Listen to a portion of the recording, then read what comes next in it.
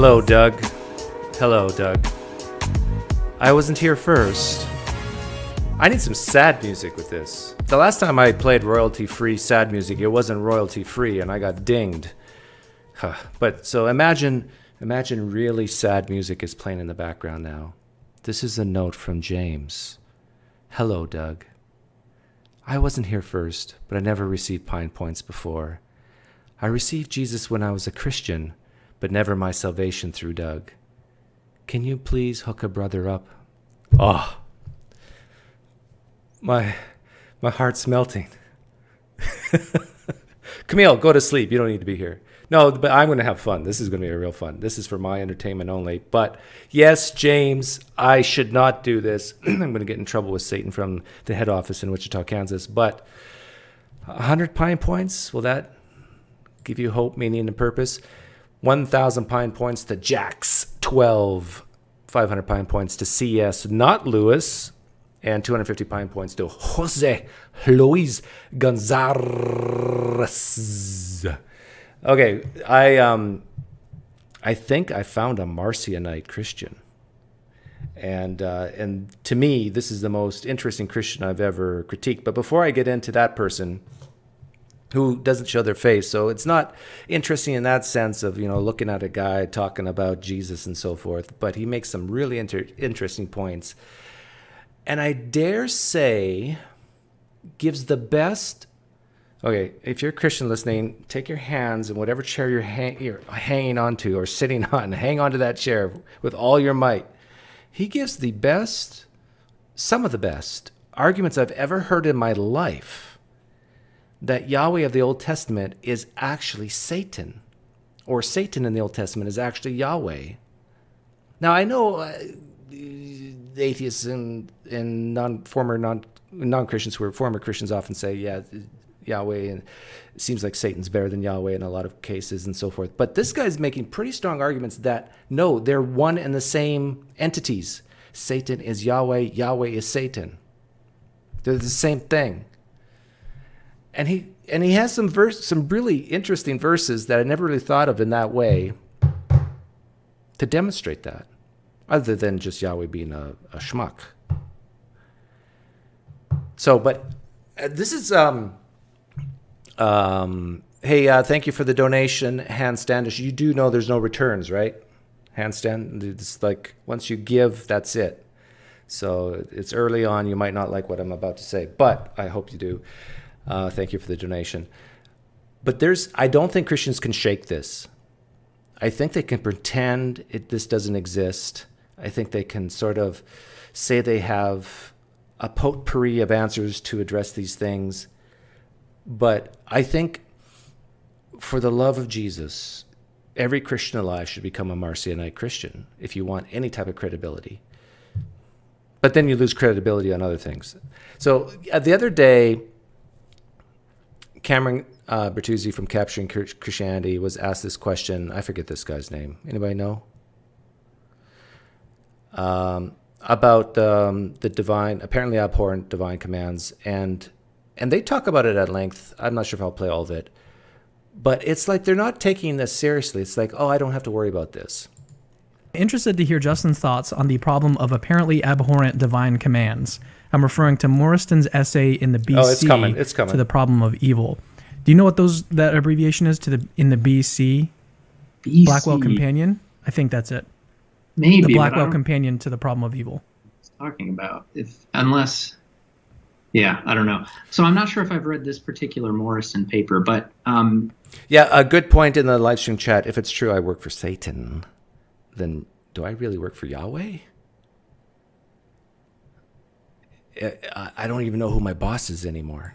Is I'm sure I you're mean, familiar with like the the general idea behind it. Yeah, is he thinking of like the the problem of? Um, actually, I don't think I've read Morriston's essay. I don't think the the sort of Paul Copan type of approach is successful. So Copan and and like Matt Flanagan and people like that have tried to argue that like, look, if we pay attention to the details and the historical context and and you know some of the literary tools that are being used here, it turns out that you can sort of defend what God did as being morally permissible, as it is depicted in the Old Testament. I'm not convinced that that approach is successful. Um, so sometimes I'm drawn to. I think is Copan the guy who basically says that uh, most of what's written in the text in the Old Testament about these atrocities is exaggeration. Is that Copan? Or is yeah, like the when he said smite uh, all the Amalekites, kill all of them. That, that that's the authors didn't really mean like all of them.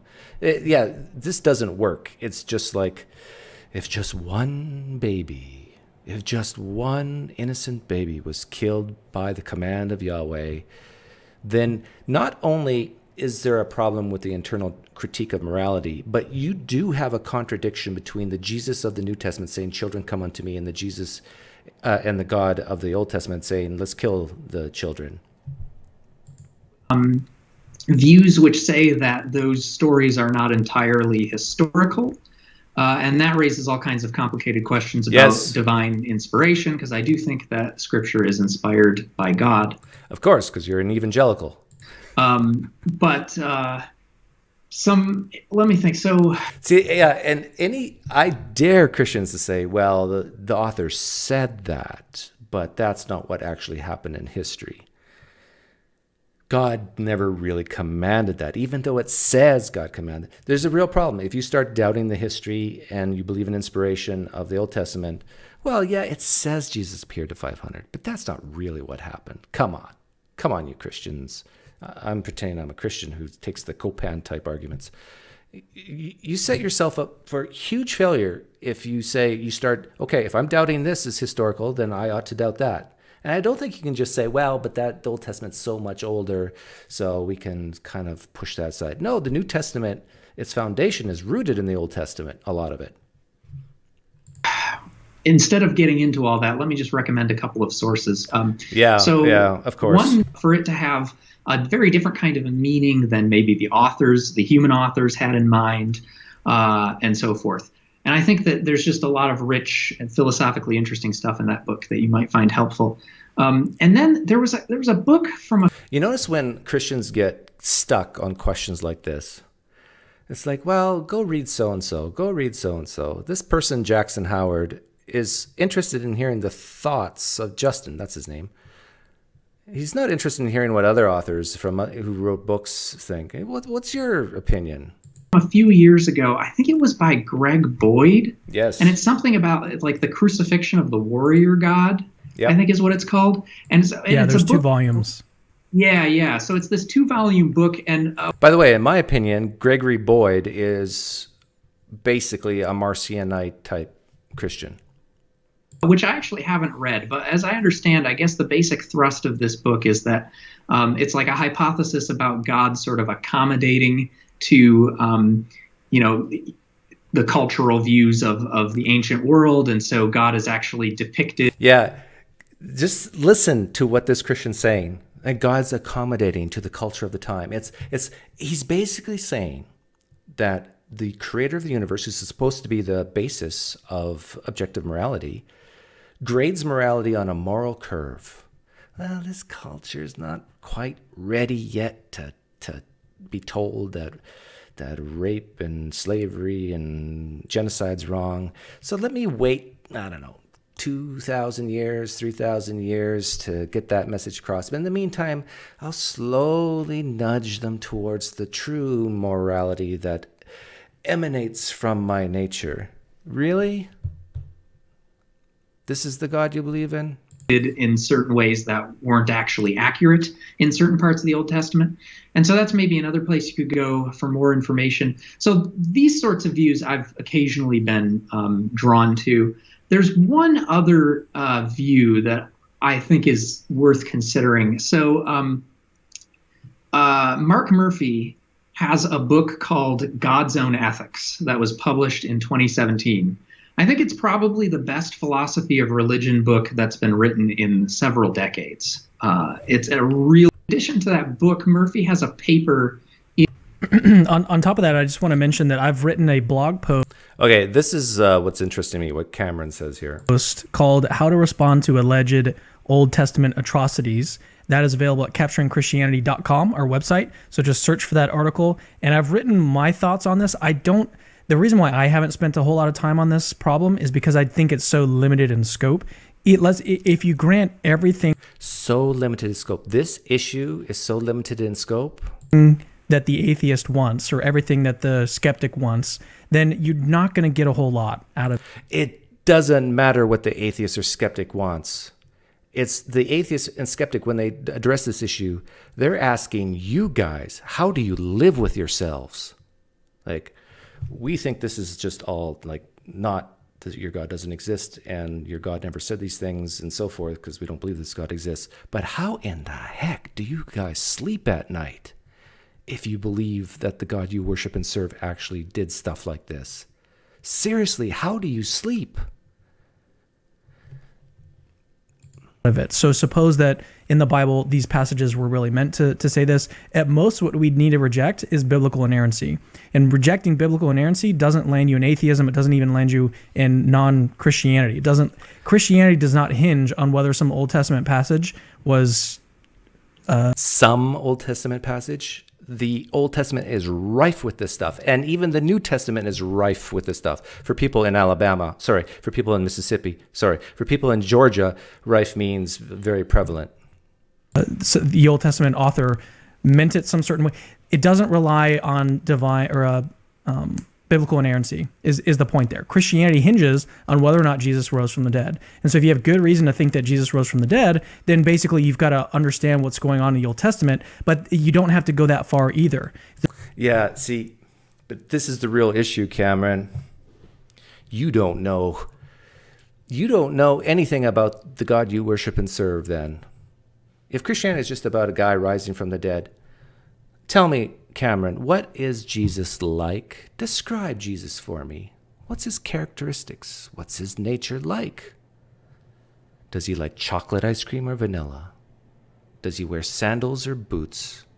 But now let's get into the deep stuff. Does he like children who are not believers in him or hate them? Does he prefer that they get nurtured and loved or smitten? Does he prefer they poof out of existence when they die or drowned? What is Jesus like, really? This is not something you can sweep under the rug and just say mere Christianity appeal to C.S. Lewis or Mike Licona and say, oh, it doesn't matter about all this Old Testament stuff. As long as Jesus rose from the dead, Christianity is true. As long as Gabriel spoke to Muhammad in the cave, uh, speaking the very words of Allah, then Islam is true. As long as Jesus appeared to, to Joseph Smith and, and gave him where, the location of the golden plates, Mormonism is true. You see how ridiculous that is to just reduce it to, well, I don't have to worry about this because as long as Jesus rose from the dead, I'm fine. I'm A OK. Don't you want to know if you're worshiping a monster? Don't you want to know what the God you worship and serve is like? If so, you have to take these questions seriously, I would think. There's there's different uh, responses to these that you've you've already mentioned. There's there's different books written on these, different interpretations of, of these passages. There's even different interpret or uh, different views of biblical inspiration, like John Walton's view, where he thinks that inspiration lies on the illo You notice they say stuff like this, different interpretations and and and different ways to the context and stuff. They talk like this when they're trying to deal with really bad stuff in the Bible. Typically, usually, not when they're talking about good verses in the Bible. locution uh, on the level of illocution rather than on the level of locution. So when some when uh, a human author would make an error, this Good point, DB Cisco. I see. I see you in the live stream. I, he says, I do. I still do not understand why the resurrection is so important, other than to mock any sacrifice. Why in the world is the resurrection so important? Like Lazarus, according to the Gospel of John, rose from the dead. It seems like tens, twenties, a hundred people, thousand, maybe even a thousand people in um, Matthew 27 rose from the dead. Why is resurrections so important? this is his view. It's a, it's kind of a, a philosophical and kind of a weird view, but it's one that I, I think is actually it's got a lot going for it.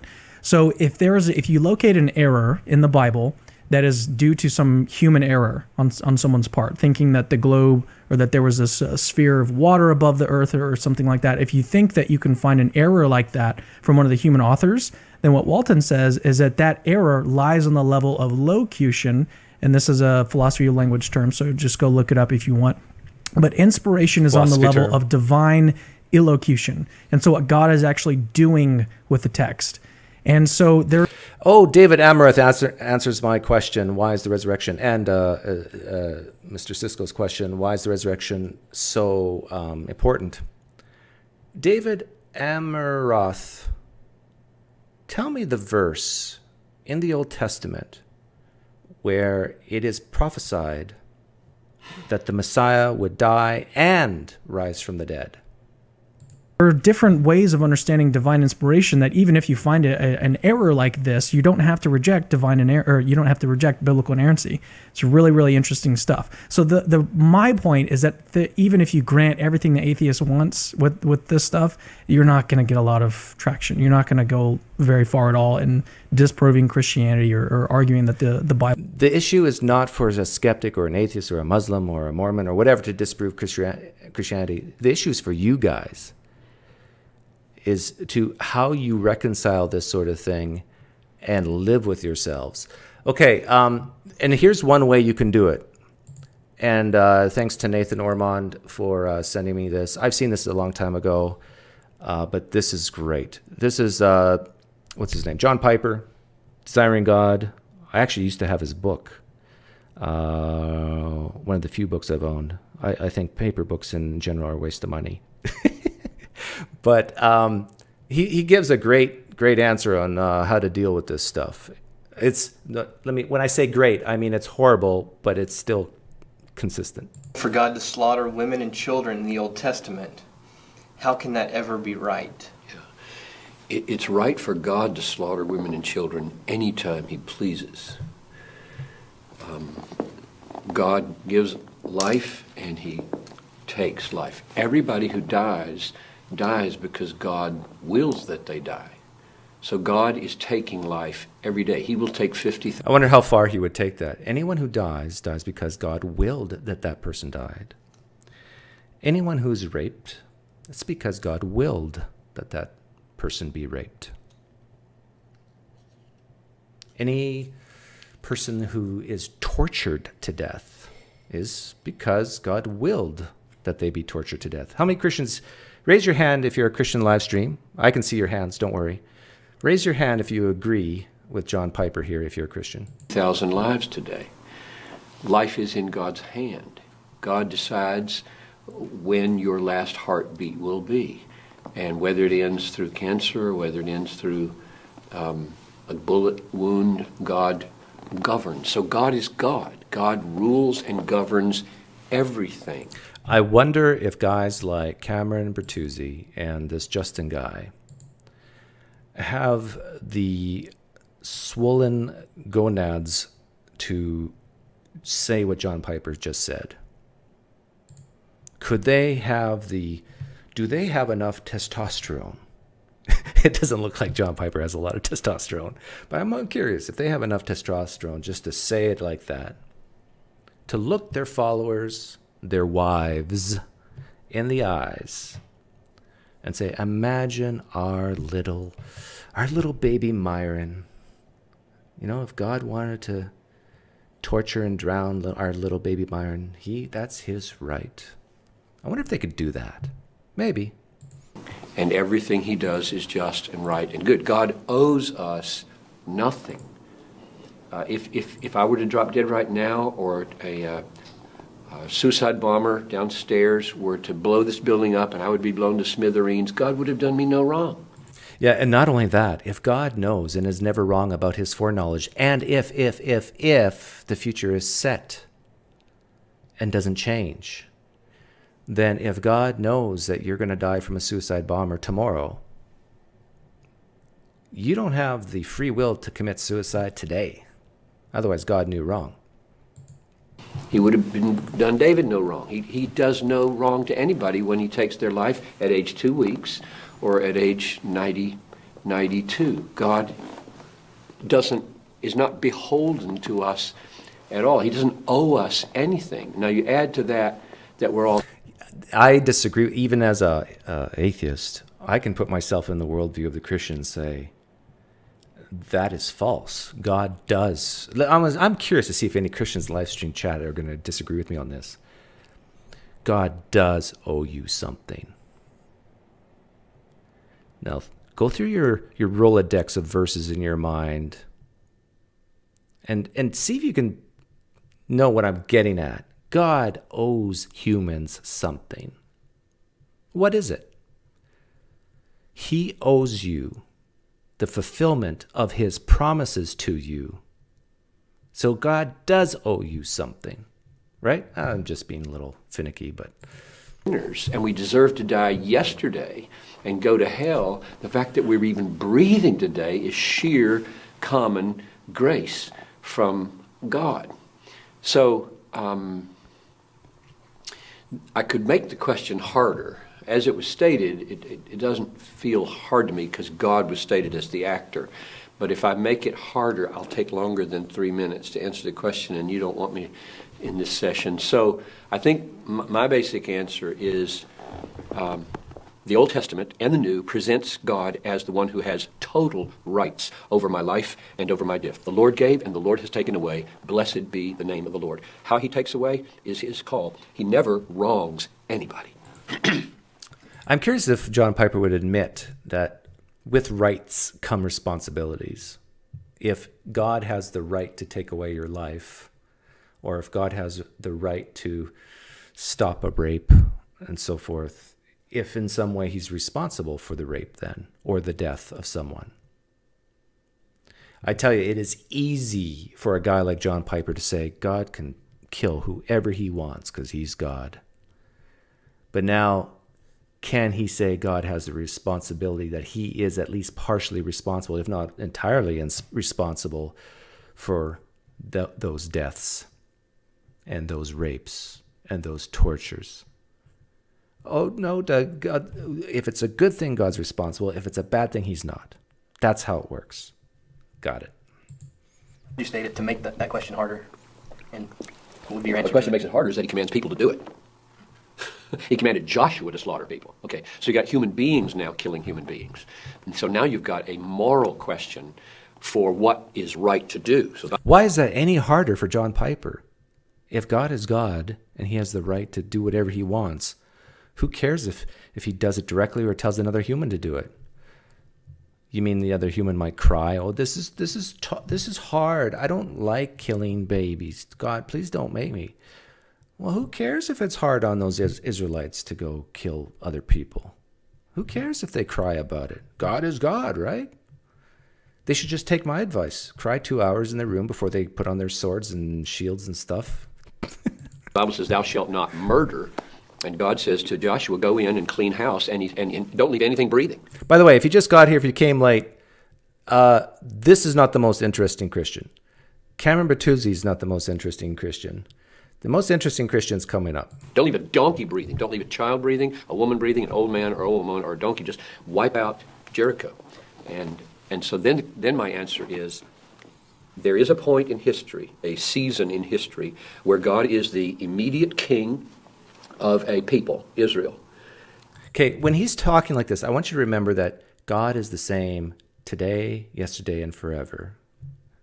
Difference in the way he is the king over the church, which is from all the peoples of Israel and does not have a political, ethnic dimension to it. So there was a political, ethnic dimension. He is immediate king, and he uses this people as his instrument to accomplish his judgment in the world at that time. And God, it says, let the sins of the Amalekites accumulate for 400 years so that they would be full, and then he sends his own people in as his instruments of judgment. So, okay, now really think about what he's saying here and the um, the connotation, the implication.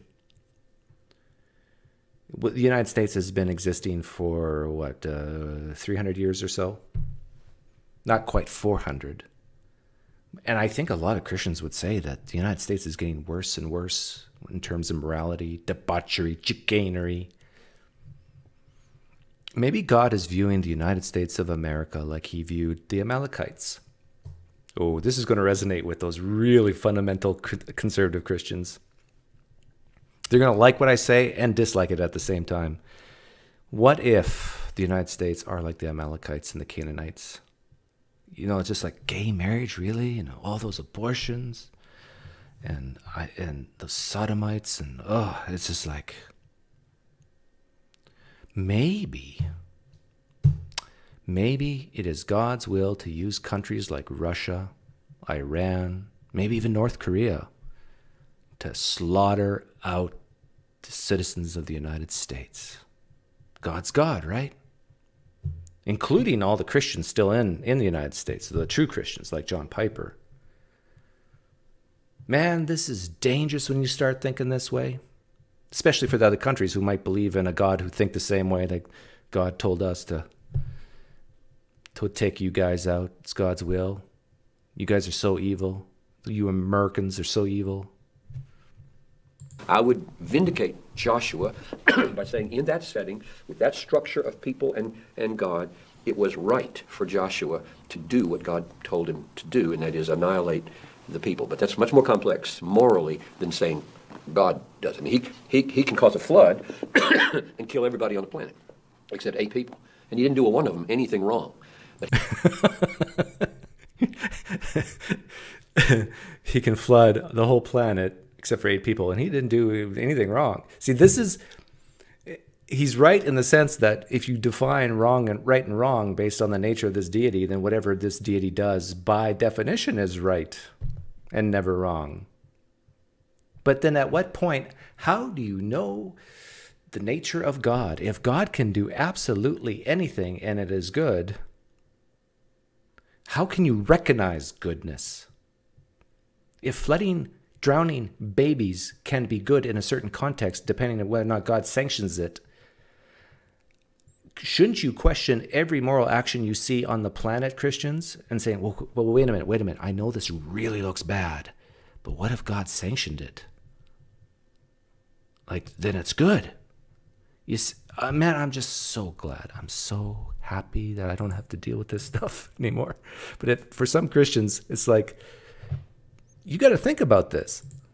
Else to do that. So whenever God uses others, right now, an example would be that God has given the sword to the government.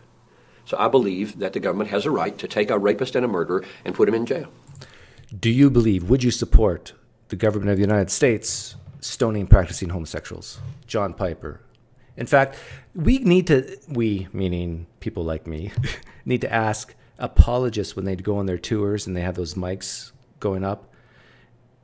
If you're a non Christian, an atheist listening, and you ever have that opportunity, ask the John Pipers of the world, ask the Frank Turek's of the world, ask the William Lane Craigs of the world if they would support a United States government that made law the stoning of practicing homosexuals, made law the stoning of people who worship um, Ganesh or Vishnu, made law the stoning of individuals who worshiped Allah. Allah. Would you support that?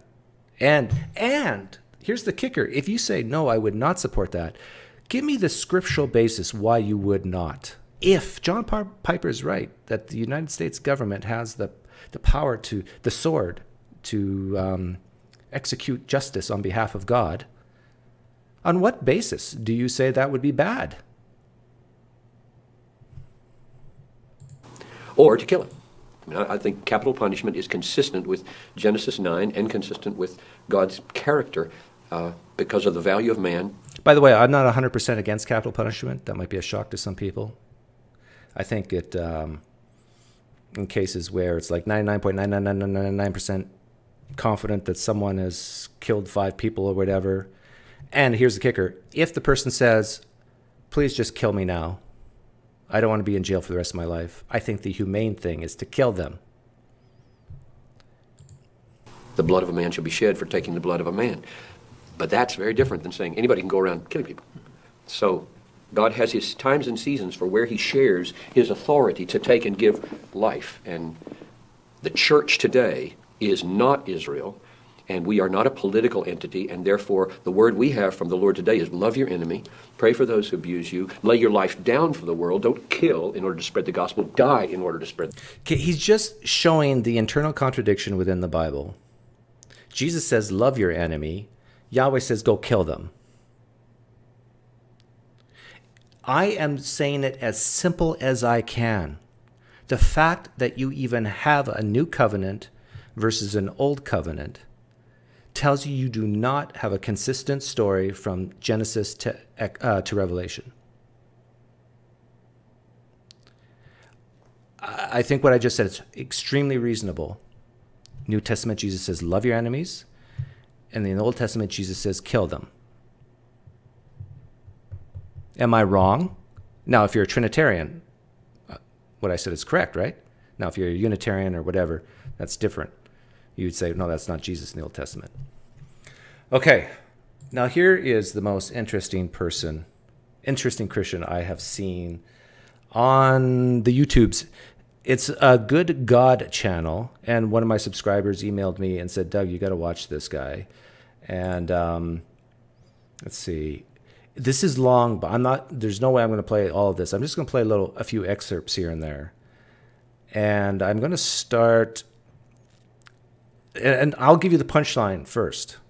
So if you have to go uh, out later tonight to um, go to the movies with the kids or something, I don't know what, what you do for fun. Here's the punchline. The punchline is this Christian believes that Yahweh in the Old Testament was actually Satan. And that there's this veil of deception in the Old Testament. And that if you're a true Christian, it is painfully obvious that Jesus has nothing to do with the God of the Old Testament. That number one, they're separate. They're still a Trinity. I, this, I think this guy, uh, I forget his name. Bobby Collier is his name. But he, I think, is a Trinitarian.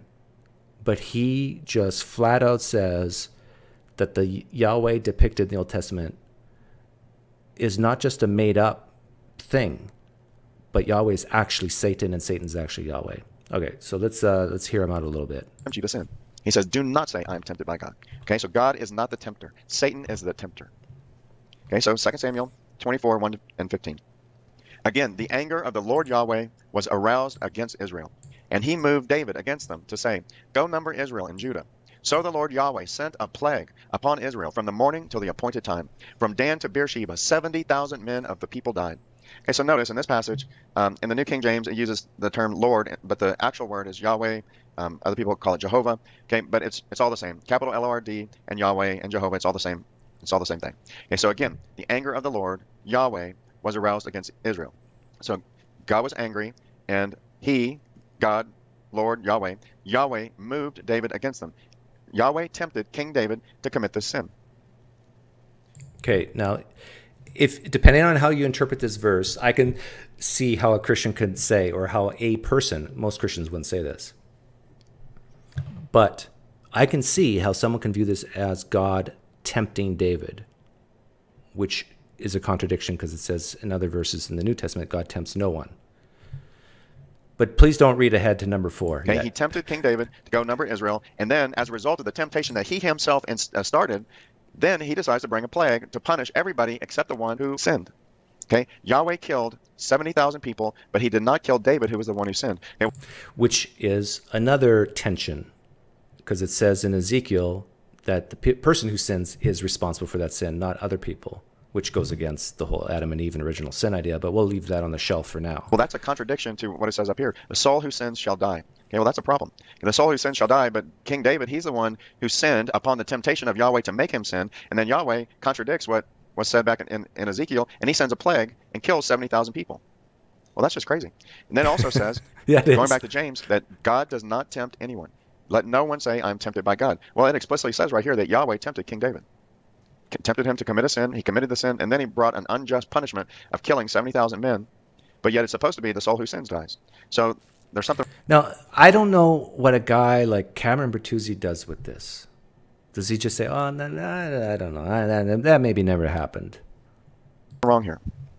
Well, if we go to 1 Chronicles 21, 1 to 14, it's the same exact passage written by a different author. Yes. Now here's the kicker. Okay, Christians, if you're listening, make sure you're sitting down. I double checked. I think maybe there's a way to get out of this, but here's the kicker. We have two stories in two different parts of the Old Testament Samuel and Chronicles. They seem like they're identical stories. In one, it says, Yahweh aroused against Israel. And in the other story, it says Satan stood up against Israel. Not the exact wording, but it's the same story. Now, what was the first impetus, the first cause of this? Was it Satan or was it Yahweh? Now, this guy, who I think is borderline Marcionite, is saying they're the same person. Yahweh is Satan. Satan is Yahweh. Now Satan stood up against Israel and moved David to number Israel. So the Lord Yahweh sent a plague upon Israel, and 70,000 men of Israel fell. Okay, so look at this. What we see is that the names Satan and Yahweh are actually synonymous in these two passages. This is the exact same passage. Second Samuel and First Chronicles, it's the exact same passage. One says, the Lord, Yahweh, was aroused against Israel and moved King David to sin. The other says, now Satan stood up against Israel and moved David to sin. Now the second one makes sense to us because we know Satan is the tempter. We know Satan is evil. We know Satan is unjust and unfair. We, um, we would expect him to do something like this. Okay, then in the same passage, it switches from the name Satan to the name Lord and Yahweh. And so what we need to open our eyes to is that Yahweh and Satan are synonymous names. this is why I titled this The Most Interesting Christian on YouTube. By the way, I'm quite sure this guy talking right now loves Jesus. I am quite sure that the guy talking right now believes that Jesus Christ is God incarnate, uh, died for the atoning of the world. Well, he might be a Calvinist. I don't know. I doubt it. But believes in the resurrection and all that jazz. This is not some dirty atheist saying these things that Satan is Yahweh and Yah- or Yahweh is Satan. This is a Christian saying this, and I love it. This passage, Yahweh and Satan are the, are referring to the same person, to the same being, and it's an evil being. So first of all, Yahweh, Satan brought a temptation to commit sin. Then Yahweh, Satan unjustly punished 70,000 people and did not kill David, who was the one who committed the sin. So you can see this is just super revealing. The names Yahweh and Satan. Oh, uh, Frozen Sea asked about uh, the Book of Job. He gets into that. I'm not sure if it's in this video or another video I watched. But if you read the Book of Job, his um, hypothesis gets even stronger that Yahweh and Satan are basically the same entity. But it's almost told from the point of view of two separate entities. But it's basically, hey, they were on the same page. Satan wants to go ruffle the feathers of Job. Yahweh says, ah, yeah, go ruffle the feathers of Job. Satan are interchangeable in this passage. Who is Yahweh? Who is Jesus? This is what I was asking of Cameron Bertuzzi when he's just brushing this aside and saying, uh, we got so many different ways we can answer this. It's, it's not uh, central to Christianity. We don't have to worry about this. As long as you believe that Jesus Christ rose from the dead, you'll be fine. No, no, no, no, no, no, no. You do not even know who Jesus is, Christians. If any of this is even somewhat true about what the Old Testament, if, if it's even somewhat historical, if, if Yahweh actually exists, and if Jesus is actually Yahweh as one part of, person of the Trinity, you can't just brush this stuff off to the side. Okay, let's read these. I, I, I should gaslight you here. You should be, you should question your own sanity on this. if you've been going through life thinking all is fine, I don't have to read the Old Testament, I don't have to think about this stuff. Points. When most people read the Old Testament, they believe that Lord, Yahweh, is solely the Father. Okay, that's why people have a messed up image of God. They read the Old Testament and they think that Father is mean and he will smite you and he will kill you and he will curse you. He will put some cancer on you to teach you something, to punish you. You know, and they get a messed up image of God because they think that Lord, Yahweh, is the Father. Only a portion of the character of Lord or Yahweh is actually our Father. In this particular passage, we see clearly that Lord Yahweh is in fact Satan. Lord equals Yahweh equals Satan equals Jehovah equals devil equals Leviathan equals dragon equals serpent equals beast. We're going to see as we go on through our teaching series, all those things are true. Yeah, uh, I'll because because I don't want to play all of this. He goes into the Book of Revelation, and when you t- hear about Satan and some of the things he does in the Book of Revelation, fire from heaven, um, acts like a dragon. A dragon. I'm Canadian. Forgive me. Dragon in my garage. you can find Old Testament passages where that describes Yahweh, bolts of lightning and fire from the heavens. That God is Yahweh is the, the um, Leviathan, and he gets into that later. I'll leave the link in the um, description later. Number seven, this is a clear example of the veil over the Old Testament, where we have a confused image of God. All good words and deeds of the Father, and all evil words and evil deeds of Satan, they The name of this channel is Good God, and again, I'll put a link in. were all attributed to Yahweh, to God, to Lord, to Jehovah. They're all attributed to that to that same God name. The people didn't know that there were two different beings, that there was a good Father and that there was an, an evil um, devil. They just thought all good and bad was all from the one deity. Okay, then number eight, Jesus. Okay. You've seen Jesus, you've seen the Father. Okay, so Jesus is our measuring stick to determine what spirit is in operation. So we're going to use this these two pages of scriptures coming up, and there's others we can use to evaluate the Old Testament and any other passage of scripture in the Bible. We will use these these words, these scriptures, to evaluate and determine who is acting in the name God. Okay, so I'm not going to go through all this, but let's just look at the highlights. And this is the question I asked hypothetically of Cameron Bertuzzi earlier. Who is just Jesus person? What is he like? Well, here's the answers. Jesus is the Lord. And if you know him, you know the Father. And he is light. And in Jesus, there is no darkness. Now, think this is a little precursor here. Think about all the times where Yahweh is revealed in the Old Testament as darkness, as being in a cloud, a dark cloud. Jesus, who's he? He's the person who would never tempt you, which means tested, tried, punished by God. Oh, that's totally opposite to the God of the Old Testament in some cases. Now, the thief, Satan, does not come except to steal, to kill, and destroy. I can't think of any examples on top of my head. Well, no, stealing, yeah.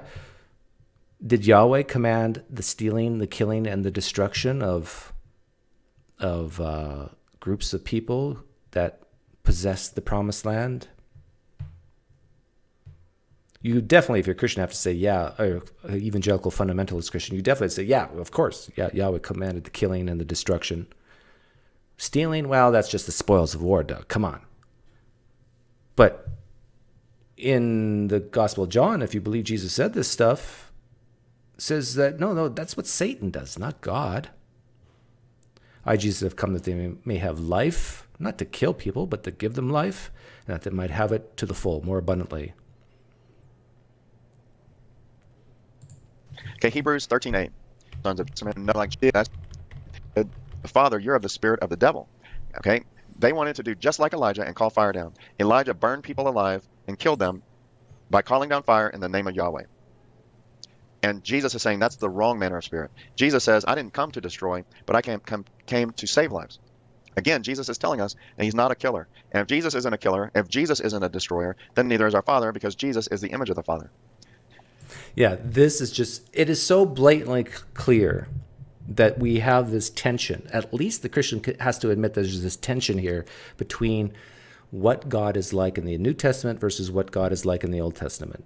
1 Peter 5 8. Be sober, be vigilant, because your adversary, the devil, walks about like a roaring lion, seeking whom he may devour. Okay, our Father's not walking around looking for somebody to kill. Satan is. The devil walks around like a roaring lion, seeking someone to devour. All throughout the Old Testament, Yahweh was going around, he was stealing, killing, destroying. He was devouring lives, he was consuming lives. Eh, Do Christians disagree with that? He was doing all these evil deeds. Okay, our New Testament revelation disagree says the that. adversary is the devil, and he's the one who's going around devouring. Hebrews 2:14. This one's huge. Inasmuch then as the children have partaken of flesh and blood, he himself likewise shared in the same, that through death he might destroy him who had the power of death, that is the devil. Okay, notice Jesus came to destroy the one who had the power of death. Who has the power of death? God does not have the power of death. The devil has the power of death. Our Father does Ooh, Ooh, God does not have the power of death. The devil does. Oh, oh John Piper here would definitely disagree with that. He just said, uh, if you came late, that no, no, it's God who decides who dies and when. Not have the power of death. Satan is the one who has the power of death. Our Father cannot kill. Jesus cannot kill. They do not have the power of death. The devil has the power of death. Our Father is not killing, He's not stealing, He's not destroying, He's not making sick. Yeah, right at this point, if you haven't already, but at this point, this guy, God, good God channel, has lost 99% of evangelicals. power of death belonged to the devil, and Jesus came to destroy the one who had that power. That is the devil. That is huge. All the killing in the Bible is the devil. Our Father does not have the power of death. He has the power of life and life abundantly.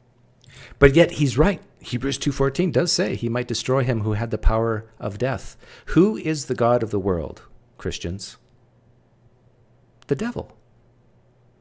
Who has the power of death, Christians? According to Hebrews 2:14, the devil. But who killed and destroyed a ton of people in the Old Testament? Not the devil.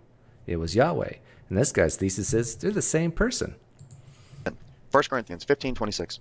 The last enemy, the last enemy that will be destroyed is death. Death is an enemy of God. Death is not from God. Death is from the devil. Death is absolutely and entirely against the will of God. It is the polar opposite. The will of God is life and life abundantly. The will of Satan is death, destruction, stealing, killing, destroying. These are polar opposite wills. Our death I agree with him here. I don't yeah, I, polar opposite. is an enemy of God. It is not a tool of our Father. Our Father did not drown all the earth. Our Father did not rain down fire from heaven and burn alive his own crea- creatures. Our Father does not have the power of death. Yahweh, the devil, has the power of death. See, I would so love to have the this guy uh, sitting next to uh, Frank Turek or Cameron Bertuzzi or whoever, some apologist that I crit- often critique, and just have them go at it on this, and actually force force guys like Cameron Bertuzzi, Frank Turek, uh, William Lane Craig to say, no, no, you're wrong. My God does kill people. My God does drown babies. You are a blasphemer. Get away from me. My, like, I actually have to aggressively defend the Yahweh of the Old Testament and say that this guy's wrong. Jesus came to destroy him who had the power of death. This is absolutely huge. We have to rethink every single scripture that's, that says, or that we think says, God killed somebody. We have to rethink it. Maybe God of this world killed somebody, but not God our Father. Okay? The Bible says that Satan is the ruler of this world. He's the God of this world. He's the prince of the power of the Which, uh, just to bother the people who love Michael Heiser, uh, you guys believe in at least, you guys, many Christians believe in at least two gods the God of this world, Satan, and the one and true God, I mean, the most powerful God, the creator God, Yahweh, uh, Jesus, and God the Father, and God the Holy Spirit, which is one God. But you overall believe in two gods, which, if polytheism is the def- if the definition is the belief in more than one God, that they exist, then you're polytheists. air. He's a ruler of darkness. It says all these things about him. He is the one who does all of the killing. Amen? Amen. Our daddy's much different. Acts 10.38. Okay, here we have Notice he called Jesus our daddy. And I've often done that in my live streams where I've called Jesus daddy. All three of the Godhead are in agreement. How God, the Father, anointed Jesus of Nazareth with the Holy Spirit and with power, who went about doing good and healing all who were oppressed by the devil, for God was with him. Okay, notice devil verses talking about curses that the Lord Yahweh was going to bring upon the people. Hey, thank you for the donation, Michelle Eagleston. Uh, have you seen heard about the incorrectly baptized Catholic priest in Detroit who caused a chain reaction of invalid sacrament? Yes, I have seen that. That's absolutely hilarious. I saw it on uh, the Friendly Atheist. Okay, notice Thank you for your donation. when you read those curses, it says the Lord Okay, so he's basically saying how good Jesus is. And let's see here. Yeah, so all these verses about how wonderful Jesus is, and that he would never kill anybody. But now let's compare that to Yahweh, shall we? and snakes when his children asked for Oh, yeah, this one I forgot about. And this is a great contradiction slash tension. Okay, well, let's read Numbers 21, 5 to 9. And the people spoke against God and against Moses. Why have you brought us up out of Egypt to die in the wilderness? For there is no food and no water, and our soul loathes this worthless bread. So the Lord Yahweh sent fiery serpents among the people, and they bit the people, and many of the people of Israel died. Therefore the people came to Moses and said, We have sinned, we Okay, so he already said the most important part here. But here we have some complaining, some complaining being done by the Israelites about there not being any food or water. And what does Yahweh do? He sends them fiery serpents among the people, and they bit them, and many of them died. Yahweh killed his own chosen people. Now look what it says in Matthew 7. If I was to ask Cameron Bertuzzi, what's Jesus like? Please describe Jesus for me. It's like if someone asked me what my wife is like, I could do it. Well, explain what Jesus is like. And if I ask Cameron Bertuzzi, if a child of God asked Jesus for some bread, would he give them a stone or a serpent instead? Well, according to Matthew 7 9 to 11, it says, If his son asks for bread, he will give him, will he give him a stone? No, Jesus wouldn't give his child a stone if they ask for or for uh, bread. Or if he asks for a fish, will he give him a serpent? If a regular human being, a father like myself, if my if my daughter was hungry and she asked for some bread, here, eat this stone. No, daddy, I'm so hungry. Give me something to eat. Can I have some bread? No, daughter, here's a serpent that can bite you. And then in verse 11 it says, If you then, being evil, know how to give good gifts to your children, how much more will your Father who's in heaven give you things to those who ask him? Now compare that to what we just read. God's chosen people in Egypt asking for food and water. And Yahweh was cranky, I guess, and sent them fiery serpents, which bit and killed them. Will the real Jesus, will the real God stand up? But if this guy's right, it all makes sense. Because the owner of this channel, Good God, is basically saying, no, this is not Jesus. This is not God here. This is Satan. Yahweh is Satan. Satan is Yahweh. Now, if you think that this guy is just way off base, if you're a Christian listening and you just think this guy is a heretic, he is a Marcionite, he just doesn't know what he's talking about, he's taking these verses out of context, he is causing division amongst Christians. If you're that type of Christian saying this to yourself right now, he's not alone in as far as theists goes. Here is Tovia Singer on the topic of Satan. I think I got it queued up right. We'll see. Prominent. Now, the idea that you could, that Satan is an enemy of God is not biblical because the only thing we're interested in is what is God's opinion, meaning what does Tanakh say, the Hebrew scriptures say. If you're a Christian, listen carefully.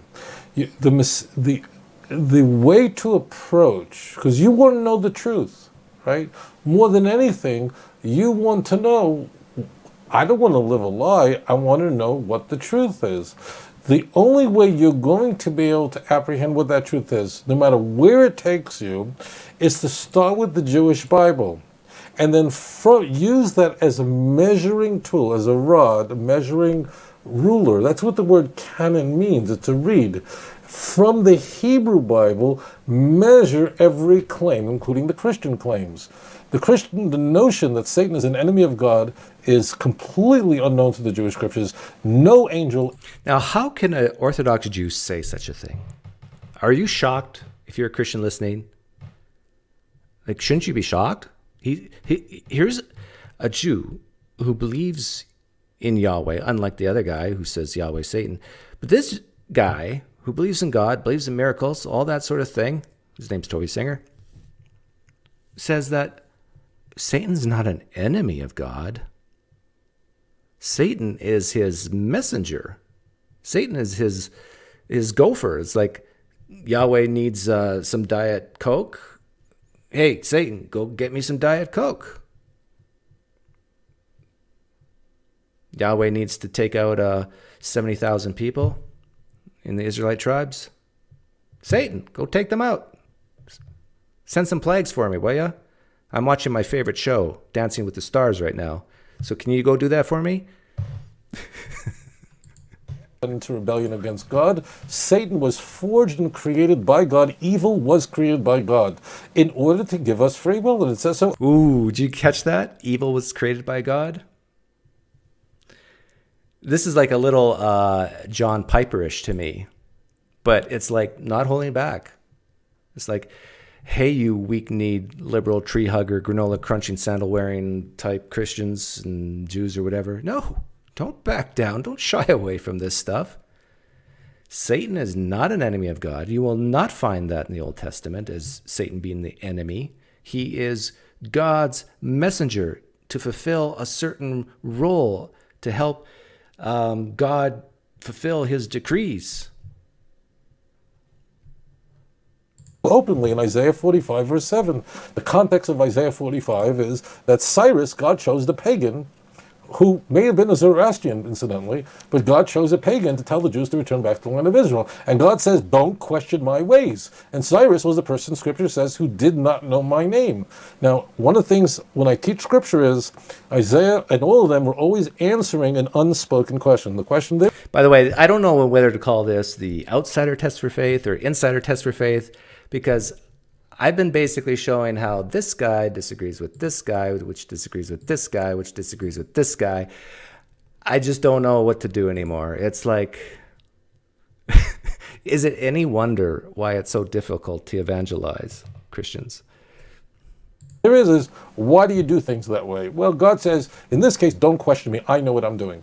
So God created evil. He says explicitly in Deuteronomy 14 and 15, before you, I, and this is God speaking, have placed before you good and evil, life and death, so that you might choose good. Evil Satan is put on this world for the as a servant of God for the purpose of seducing men, casting forth his blandishments, so that we can choose good over evil. If there was no Satan in the world, Imagine a world where there was no Satan. let's use the rule of that I taught earlier, where I said if you have a conundrum in Scripture, it's sometimes a good idea to say, well, play the game what if.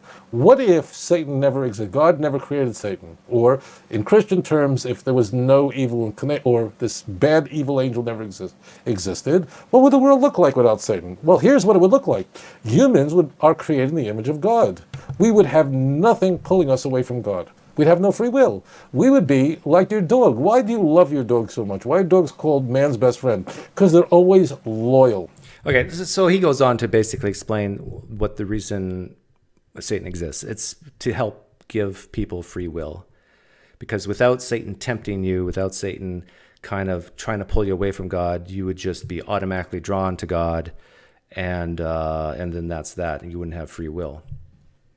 But how did who tempted Satan to leave God? That's my question for Tovia.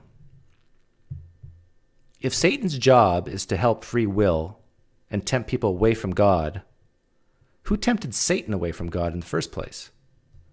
Must have been God, right? Because who else existed? What else existed? Like, I, uh, what? Help! Help! Is there is there any Christians that can help me with this? Now I've heard some Christians say that evil is not a not a thing to be created, but it is pretty clear. I think it's in Deuteronomy that Yahweh created evil, that Yahweh creates light and darkness. That is kind of a thing. So I need help here. If I'm going to follow, if I'm going to become a Christian, follow Jesus, do I take Cameron Bertuzzi's stance that, that this stuff's not important and all that's important is whether a man rose from the dead? Do I take John Piper's stance that that uh, God is God and he can do whatever he wants, so just shut up and take it? Do I take this guy's opinion? His name is, uh, I forget, Bobby, Bobby from the Good God channel, that the the stuff in the Old Testament all that bad stuff that Yahweh did, it's actually Satan. That Satan is Yahweh, Yahweh is Satan in the Old Testament. And should I become like a Marcionite type Christian and just reject all that stuff and just cherry pick the good stuff I want out of the New Testament? Or should I become a Jew and just say, "Oh yeah, no, no, Satan is real. It's separate from Yahweh, but they work hand in hand together. What Satan, what God wants, Satan sometimes does for him. He's his gopher. He's on the payroll. Satan's on God's payroll. Which theism should I pick? The one that's true, right? Which one of these is true? The Jewish, the Marcionite, the Calvinist, or these evangelicals? Why can't anybody help me? Oh, I forgot about the Muslims. The Muslims is pretty close to the Jews, but they probably have a different take on the on uh, Satan. By the way, getting back to this guy, here's his problem. His problem is he's viewing Jesus as this oh, lovey-dovey, wonderful man who just loves children and, and would never hurt a fly. But yet, this is the Jesus who spoke of weeping and gnashing of teeth and separating the goats from the sheep and, and telling that parable in the Gospel of Luke about uh, uh, Lazarus going in the bosom of Abraham, Abraham and and then the guy in hell saying, "Let me go and warn my family," and says, "No, no, you stay where you are. Let them burn." They got the scriptures.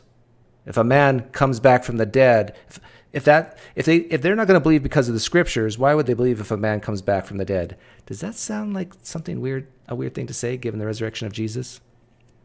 That you don't believe based on the resurrection, but it's on the scriptures? It's another contradiction for you or tension.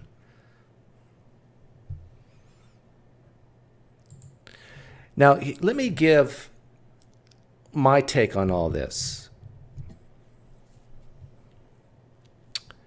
The reason why we have Tovia Singer saying one thing, this guy, who I'm going to call a Marcionite, even though he probably isn't, saying a different thing, and John Piper the Calvinist saying a different thing, it's still, and this evangelical just not knowing what to think. You know what the reason for all this is? Because you're worshiping, you're reading, you're valuing a man made text, texts plural. The most plausible explanation to me is that you're reading these ancient texts, and depending what you value and the culture you were raised in, you side with Tovia, or you side with this uh, liberal Marcionite type Christian, progressive Christianity, we'll call it, or you side with this Calvinist, or you side with these Arminian non Calvinist evangelicals. You just pick the interpretation that you resonate with, that makes you feel good or bad. So maybe some people like to feel bad, so they choose it. But it's very plausible to me that all these guys are wrong. But we could solve this problem really quickly. I got a chair right here. No, you can't see it. Oh, yeah, there it is. See? I got a chair right here. And Jesus could come and clear this up right now. He could, right? If he's real and all powerful. Come right now. Sit right next to Pine Creek. This would be the most viral YouTube video in the history of YouTube videos if Jesus came right now, sat on this chair, did First Kings 18 for me first uh, to prove that he's God. And uh, tell me what's up. Is Satan really Yahweh? Is Satan the enemy of God, or is he a messenger for God? Is does it really is is the Old Testament even like historically accurate? Did did you Jesus even actually rise from the dead bodily? What what's tell me the truth? Because it seems like everywhere I look, I get different answers.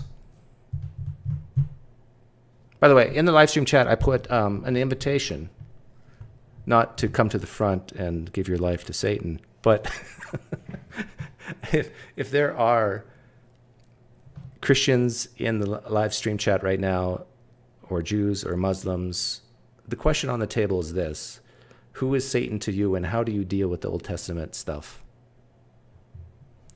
If you want to come on, I'm going to just give a few minutes and um, I can give you a link.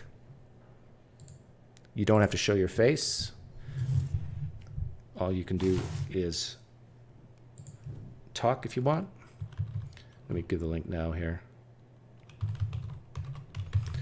It's uh, www.whereby.com forward slash Pine Creek.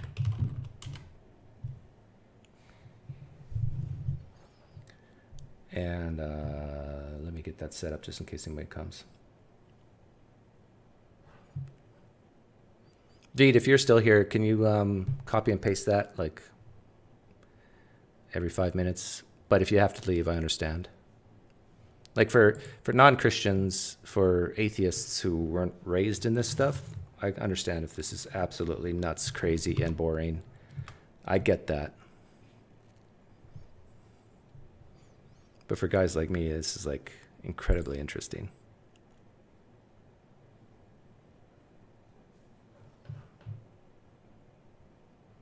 Okay, I got the room. It's locked right now, but if someone wants to come in, it's whereby.com forward slash Pine Creek. But only come in if you actually believe that uh, Jesus is real, or God is real, or Yahweh is real, or Satan is real. And uh, I wouldn't even, I, I'm actually really curious to know what the uh, Muslim take is on Satan. My guess is it's very similar to the Jewish take.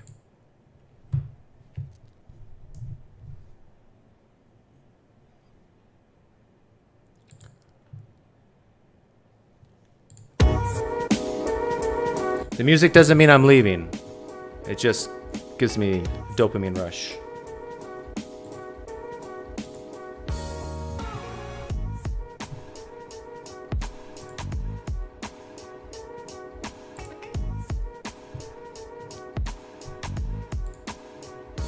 Yeah, I understand the Jews don't worship Jesus. In fact, some Jews view Christians who worship Jesus as idolaters. And I don't blame them. I think even Christians would admit that. If Jesus is not God, if the Trinity is false, every single Christian on the planet that worships Jesus as God is committing idolatry which puts you in a situation worse than atheists.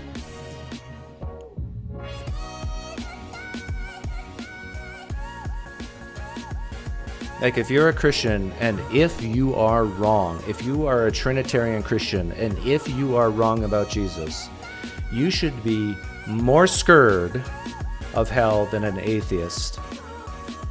Because at least we're not worshiping a false God. You guys are, if you're wrong. So, whenever a Christian brings up Pascal's wager, you remind them about that.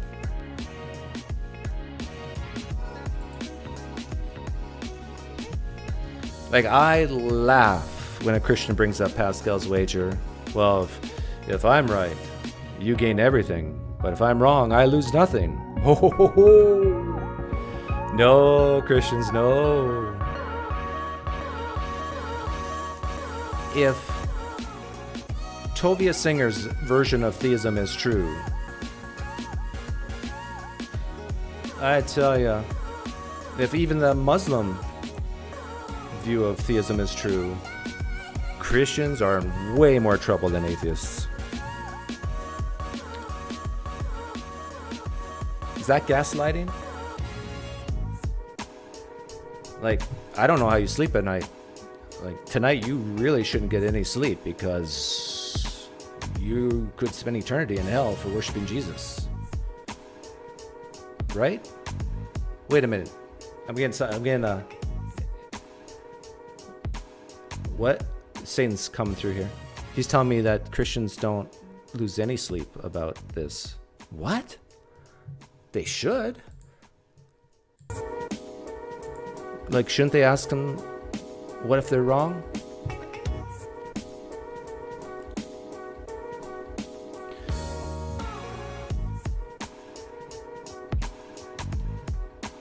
David Amaroth asks, So, in your worldview, molecules somehow forming themselves from nothing, which violates the laws of conservation to the largest scale possible, but you want proof of God?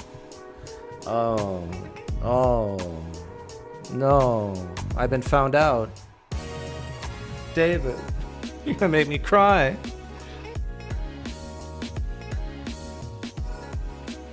Okay, let's make this a teaching moment.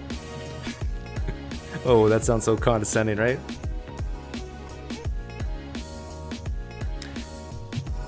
Yes, I believe I'm made up of molecules and atoms, but I'm a complex organism that through millions of years, those molecules and atoms have arranged themselves in complex ways to form a complex organ- organism that can slow down and consider things.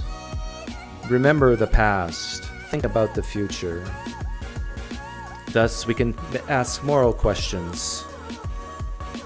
And I don't need proof of a God, all I need is my confidence raised. What would raise my confidence, David, is if you said to me, Jesus is real, and said, I can show you, I can demonstrate it by taking toilet paper, soaking it in water, and asking Jesus to rain down fire from heaven to light it up on fire, just like he did for Elijah. David, if God can do that for Elijah, why can't he do that for me? Am I not as important as Elijah? Am I not loved like Elijah was loved by Yahweh? But David, even if you, Christianity is true, maybe I'm just blinded. I'm blinded from my sinfulness. I've suppressed the truth in unrighteousness. And the only way I can get unstuck, David, is for the God that you believe is true to regenerate my life. David, can you help me with this? Can you help me get the spark that I need to believe?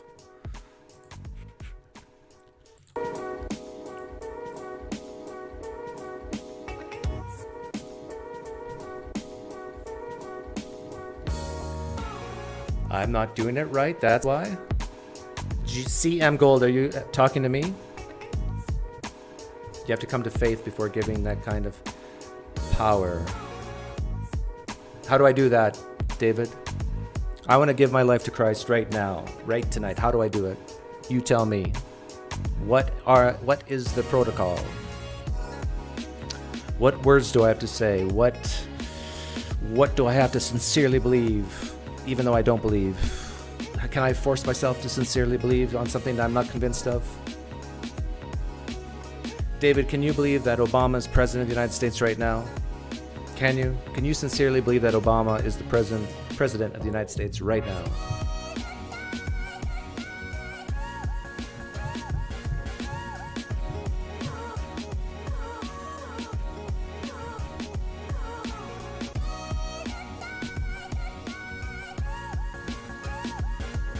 Watch this. Now, I've been told, this is getting serious now. I've been told that there's certain things you have to confess with your mouth in order to be a Christian. That's not all of it, but it's part of it, right? I confess that Jesus Christ is Lord, that he died for my sins and rose again. Now, I can say those words. I don't believe any of that's true. How do I believe that's true? Christians, help me. How do I believe that that's actually true?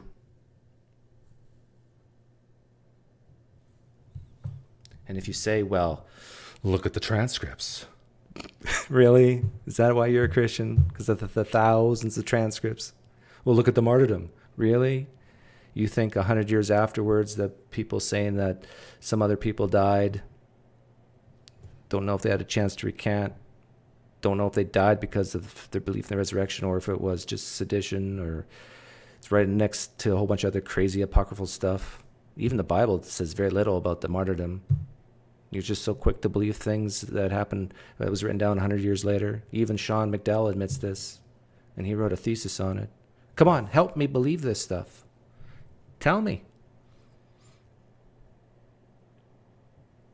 Same with you, Muslims, Jews.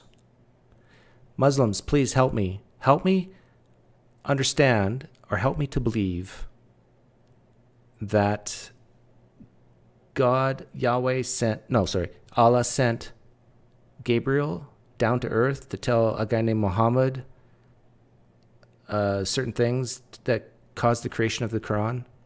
Help me believe that. Why should I believe that? And if that's true, why couldn't, uh, why isn't Mormonism true?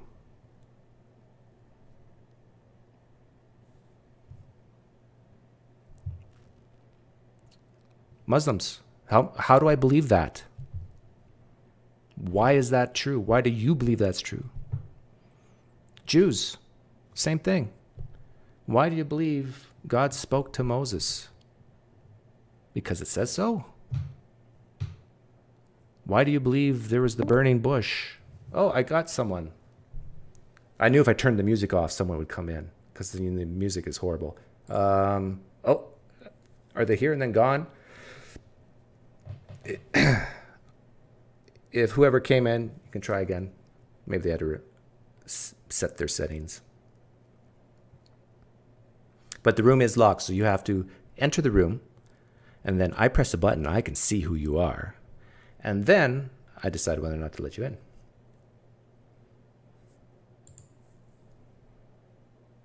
Yeah, Scientology is the one true religion. Yes, I am an atheist. And that means no matter what anyone has done throughout, good or bad, is ultimately meaningless. Oh, that hurts. How is it that there's so many atheists on this planet?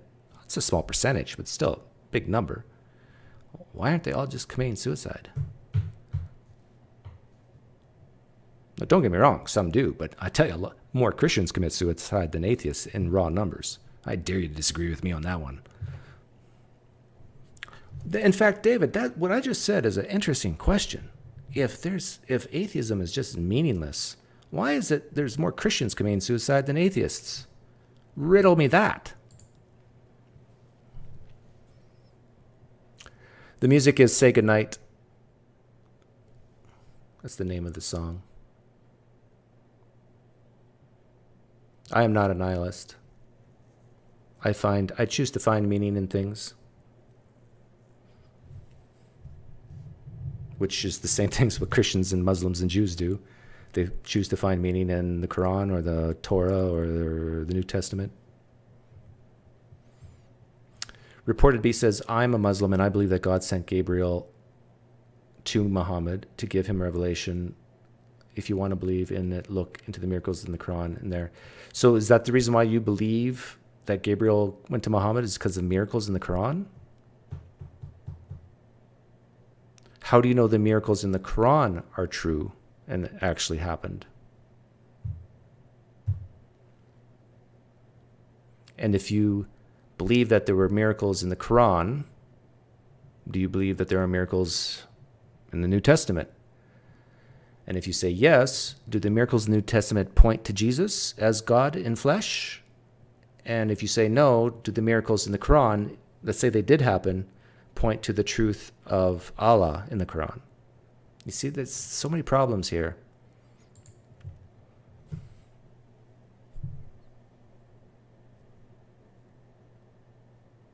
I don't have to justify my meaning by way of evolution. I just have it. Now you can say, well, that's because God gave it to you, Doug. And I can say, okay, we can agree to disagree. By the way, that's one of the worst things you can say to a Christian, a Muslim, or a Jew. Let's just agree to disagree. Actually, I take that back. Jews really don't care that much. but it's a pretty bad thing to say to Christians. It's like, no, no, don't you understand? There's there's eternity of hell awaiting you, or you won't go to heaven, or you won't have life to the full. tell you, you got 200. Is that right? I know there's there's Jews, Muslims, and Christians in this live stream chat. Oh, here we go. Uh, let's see who's here. Hello. Can you hear me? Hello. Hello. What's your name? Um, cool. Akul? Yeah. How how you spell that? Um, A K U O. A K U L. Do you want to show your face or no? Um, maybe just uh, keep it anonymous. I don't know. Okay, so just your voice. That's fine. Yeah. So, um, did you want to help me with something? Um, I don't know. I just kind of uh, saw the link and joined. Are you uh, I'm not entirely sure what it is. are you a theist? Uh, no. You're an atheist? Yeah. Okay. Were you ever a theist? Yeah, I was. I was. In what what? Yeah. I, I was a Hindu. You're a Hindu. Yeah. Oh, I've never actually got to talk. I, well, no, once or twice. Yeah, twice. I've talked to Hindus, but they were like Krishna and sort of Hindu. What type of Hindu were you? Um, well, I was. The, the thing with Hinduism is like it's kind of like everyone has a different sort of idea about it. There's no like one set thing that you have to kind of follow. Right. So like every person you ask will have a different idea about, about God. So Why did you leave? um well I just kind of like I learned about science and then I learned that evolution was a thing and that we didn't really need God to explain anything. Okay, okay, Uh, this is this is great because there's a Christian named David in the live stream chat right now. Mhm. When you were a Hindu, did you have meaning and purpose in life? Not not now, but I'm th- when you were a Hindu. I think so, yeah. But Hinduism is false. So how could you have meaning and purpose? I don't know. See, this is the thing. This is what a lot of Christians will say stuff like, well, you don't have meaning and purpose in life if you are an atheist. But yet, if they say that to the atheist, they have to say that to the Hindu because th- Chr- Christians Yeah. believe, well, at least evangelical Christians believe that Hinduism is false. They're worshiping false gods, they don't exist. So basically, evangelical Christians, hear me out here. If you say to the atheist, you can't have any basis for meaning, purpose, hope, all that sort of thing, you have to say that to every worldview other than your own. Yeah, probably Islam as well. And even Judaism. Judaism, yeah, even Judaism, because Judaism, they're not worshiping the true God, which is the Trinity God. Right? Yeah. So did you lose like hope, meaning, and purpose when you left Hinduism? Not really, no. Like, why aren't you? Like how come you're not crying right now? I don't know. You should be crying because like life's meaningless, right? Pretty much, yeah. you have to have some imaginary imaginary friends, right? Yeah. Well, yeah, and that is one of the theories that um, religion. Uh, we evolved to have religion, uh, shared Yeah. myths in order to give hope, meaning, and purpose, and and survival. Like my my sister believed that God would heal her. She had MS. She passed away earlier this year, and she truly believed that God would heal her.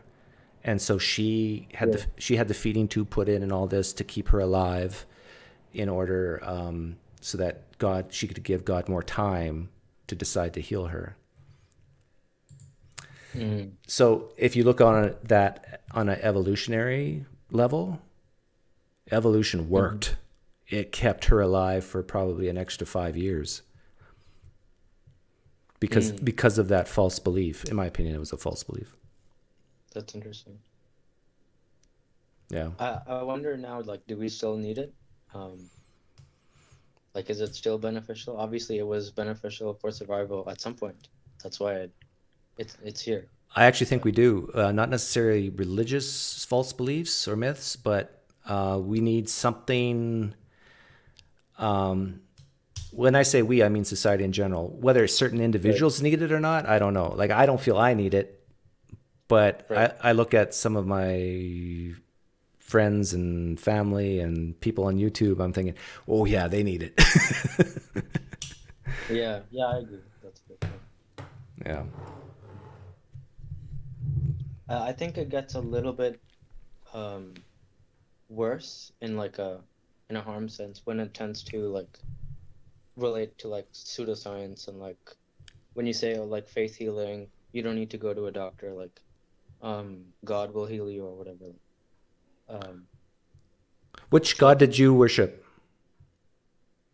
um, like the Indian, like uh, Brahma, Vishnu, Shiva. Brahma isn't really worshipped. It's mostly just Vishnu and Shiva. Now, did you believe in? Would you have called yourself a polytheist, or Um, or would you call yourself really, a pluralist? It, it's more like they're just there. There's only like, well, like Vishnu and Shiva, I would have said, are just the same god, just different forms of the same god. So I would have said that I'm like kind of a monotheist, but because it's like they're just different versions of the same god. Okay, Christians, did you hear what he this former Hindu said that he would have considered himself a monotheist? And I dare to say most Hindus on the planet would say they're monotheistic in the year 2020. Would you agree with that? Yeah, I think so. So, so some will say that all gods are kind of part of the ultimate like Brahman, which is like the ultimate, like that. That's the the highest supreme god or whatever. Um, other people will say that oh no, Shiva is the highest and he's the main god. Then like everyone has a main god basically. Every the other gods are just like, um, like demigods, in comparison, like angels basically did like they don't really do much like indra um like he he's the king of the gods supposedly but he's just a random guy who does like rain and stuff like no one takes him seriously How old were you when you left Hinduism? um well it never happened like all of a sudden it was like Okay, when when did the process started? Do you think? Um probably in grade 12 i think Now, was So it because was- did you meet a girl who was an atheist or something? no i wish Oh, you wish. and uh, what would you say would be like the top three things that caused you to doubt that Hinduism was true? Um, like I'm I'm not really sure. Like I just I wasn't like super into it. I wasn't like super religious in the beginning. Um, like I I definitely did believe. I went I went were, to the temple, You were a backsliding Hindu. I guess, yeah. Have you heard of that phrase, backsliding? He- Like you believe, but you don't actually do this stuff, Yeah, basically. yeah. Like uh, most Christians are backsliders. Right. Yeah.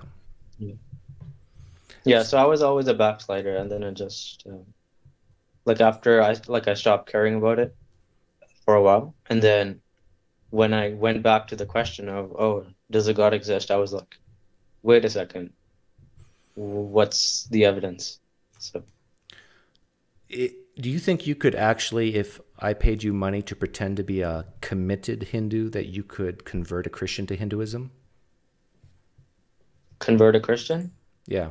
Maybe, maybe. Or do Hindus even care about that? Do they want Christians to become Hindus? Um, well, they- they're not necessarily like they don't necessarily want to convert people, but um, they like they think their religion is like better in Because it's not exclusive, right? Right, because it's not exclusive. So a, a lot of Hindus will say that all gods, like um, Allah, um, Jesus, are just different names for the same thing. Right. Hmm. Uh, obviously, they don't know that, um, or maybe they aren't like fully aware of how the contradictions, because like, yeah, I mean, in in the Bible it says like, oh, you no other gods before me or whatever. So. Now, did you have holy texts like that you read every day or every week, like the Vedas or anything? So I, I read a, a little bit of the Gita, like maybe the first chapter, and then like I got bored. Yeah. It seems like a lot of these ancient texts are just so incredibly boring. Yeah. Like the Old Testament, most of it's extremely boring, except for all the bloody parts, and then that's gruesome. and then the New Testament is uh, not the New Testament's actually not that boring, except for Revelation's just out there. And the Quran, I started reading the Quran a few years ago, and to me, it was very similar to the Old Testament. Mhm. The Book of Mormon, yeah, was basically a similar to the Old Testament, New Testament, all combined together. Yeah. Are you Yeah. so, The, I, the, the first chapter was literally just listing names of people on the battlefield. Like that's literally all it was. So it was so dumb. are you a subscriber to my channel? Um, No pressure. I don't think so. No, I have a lot of subscriptions. Do you have you watched my channel many times before? Not really, to be honest. How did you find this link? Or how did you find my channel today? So uh, Reed linked uh, Reed Nice Wonder, Yeah. Cordial Curiosity. So he linked it in one of the servers I'm in. So I just clicked it. Ah, I see. Okay. Yeah, Reed's Reed's good at marketing.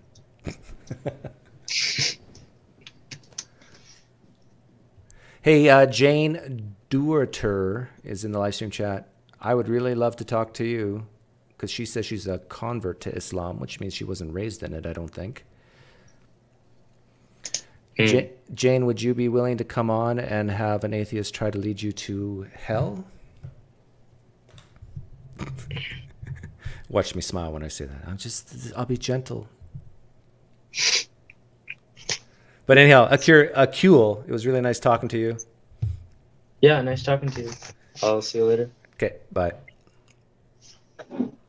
I want to open the seat here. I know Jane wants to come on. Jane is feeling the power of Allah right now, saying that Allah could use her to lead me to the truth of Islam.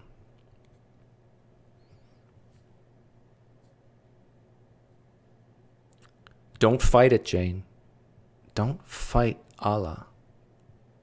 You know the will of Allah. Don't be scared. Same with you Christians listening. Don't fi- fight the will of the Holy Spirit. He's impressing on your heart right now that even though that Pine Creek guy is like sarcastic, condescending sometimes, and and um mocking, that you have, you could be the person who breaks that hard-hearted Pine Creek guy.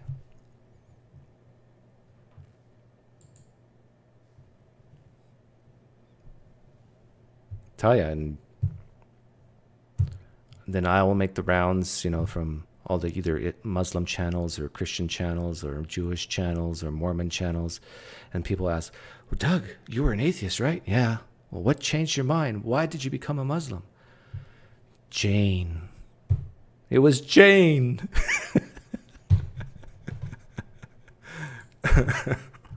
or it was David.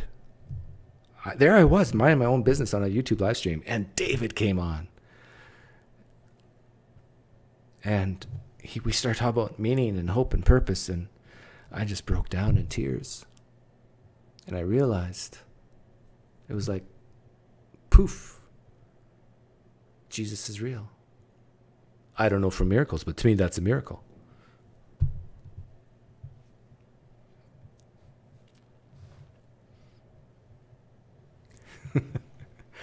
I think, Joshua Howard, I think people are truly scared of me for some reason. Or scared just being on on uh, audio video. And apologists won't come on because they got everything to lose and nothing to gain. To me, to them, to apologists listening, I am um, their sister, and I'm like it's like I'm arm they're arm wrestling their sister. Everything to lose, nothing to gain.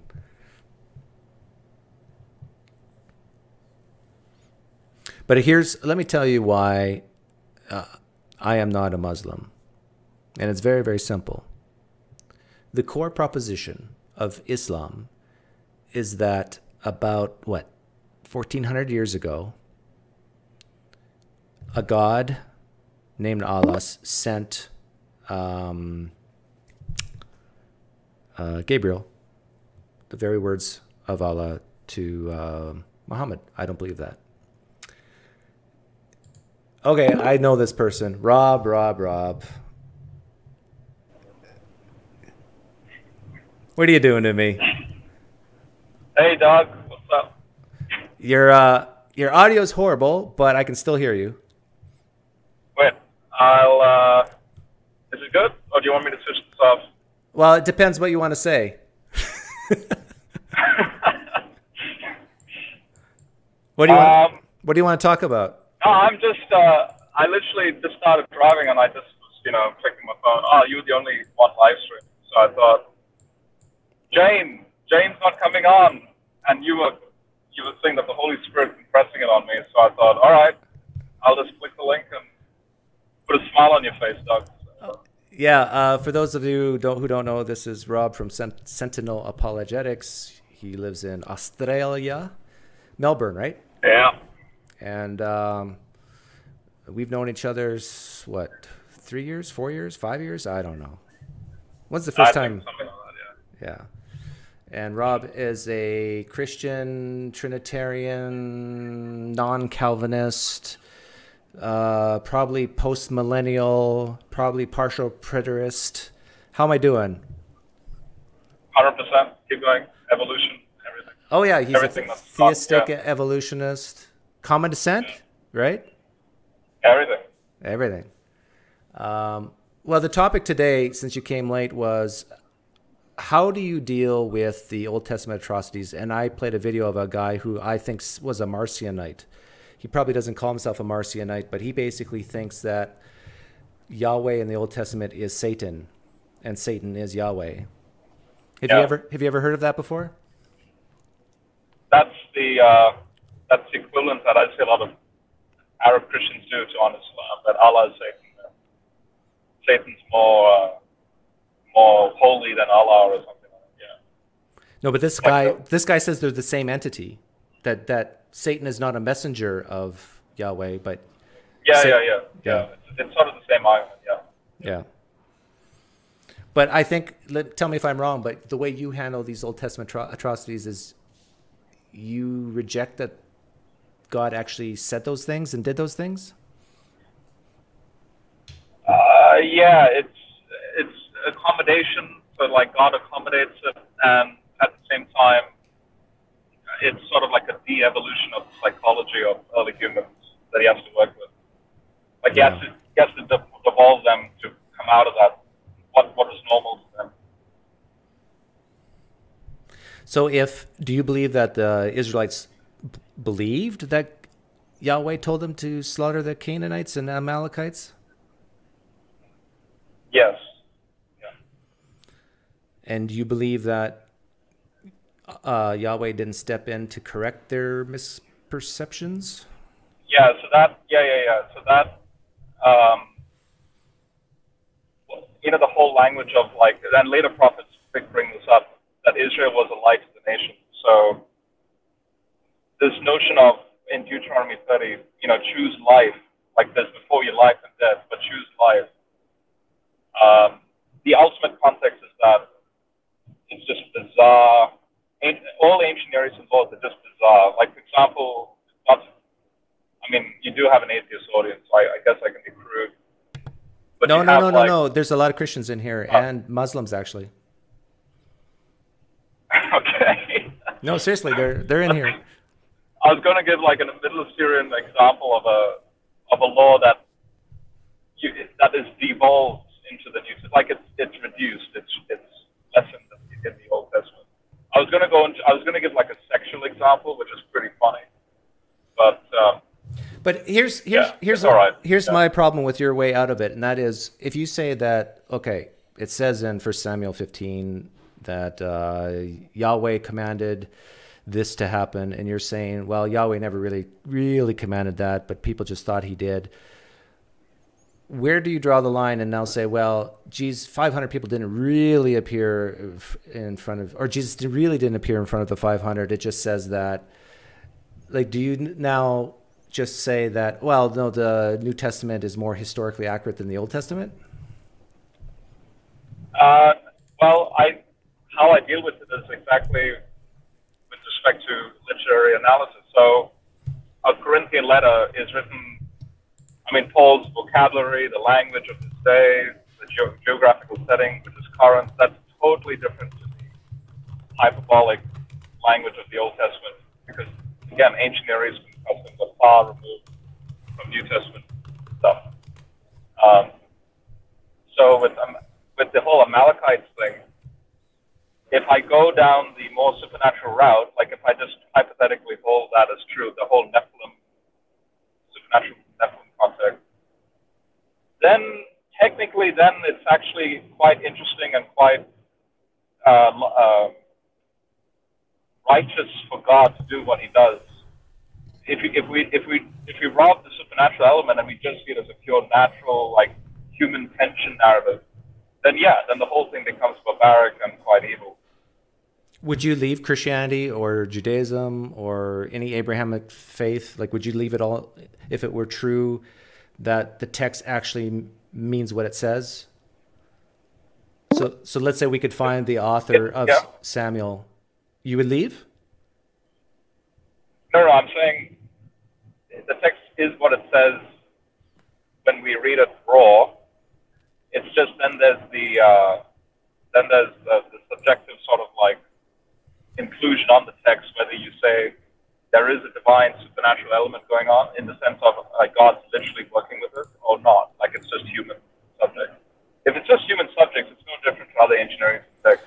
No, but I'm saying if it were true that the author of the book of Samuel meant what he said, that this is.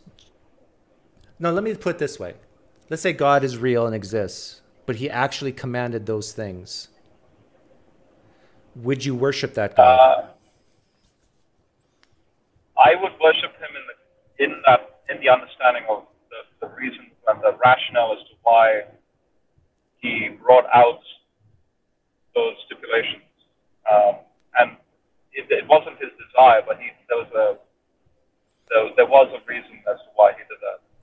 no, but what if he told That's you? what I'm getting at the supernatural context. What if he told you that Yeah. he killed, he wanted uh, the babies, women, and children killed because uh, he just did. He and he, that's all he told you. It's just like, don't question me, Rob. I am God.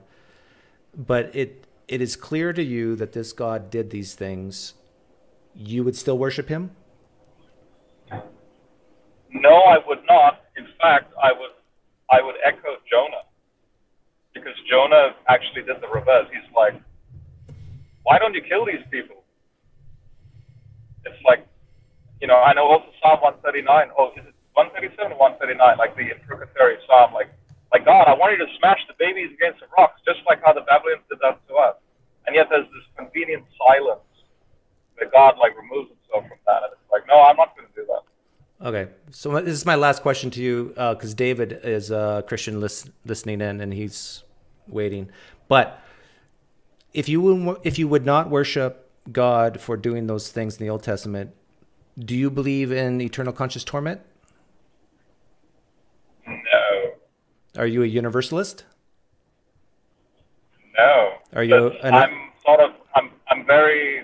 Just like in all, all the other positions, I'm. I'm, I'm very nuanced and I'm quite.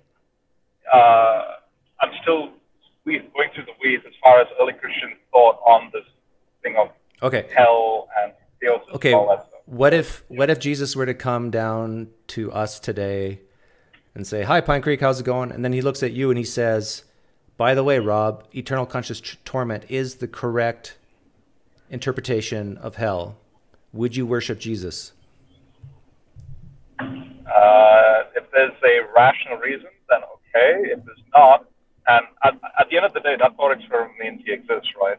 Yeah. So then I'll have to I'll have to go I'll have to then make a choice. If it's not rational logical, I'll have to say no. It's interesting that on both Yeah. questions you answered there has to be a rational reason. But when it comes to the problem of evil, a lot of atheists are told, well, God would have morally sufficient reasons for things. Would it be fair for if if I hear that, would it be fair of me to say, well, I need to know what those morally sufficient reasons are, and until I do, I would reject it. Is that fair? Sure. I, I'm speaking as an ex-atheist myself. I, I, I understand that thought process. Okay. Yeah. Well, we've been going uh, over five minutes, uh, and uh, I'm going to let David in now. So good to, good to see you. No worries, Doug. Thank you. You take care. Bye. Okay, let's let David in. Hopefully it works. Let's ta- turn that off. Can you hear me, David? So, David, if you go up, you'll see the gearbox for settings, and you can make your the correct mic your mic, and if you want to be seen, your camera your camera, and then you refresh the little. You come back, you leave, and you come back out. Oh, you come back in. Actually, you know what? You don't have to refresh anymore. Just go up to that gearbox on the top right. Make sure your settings are right.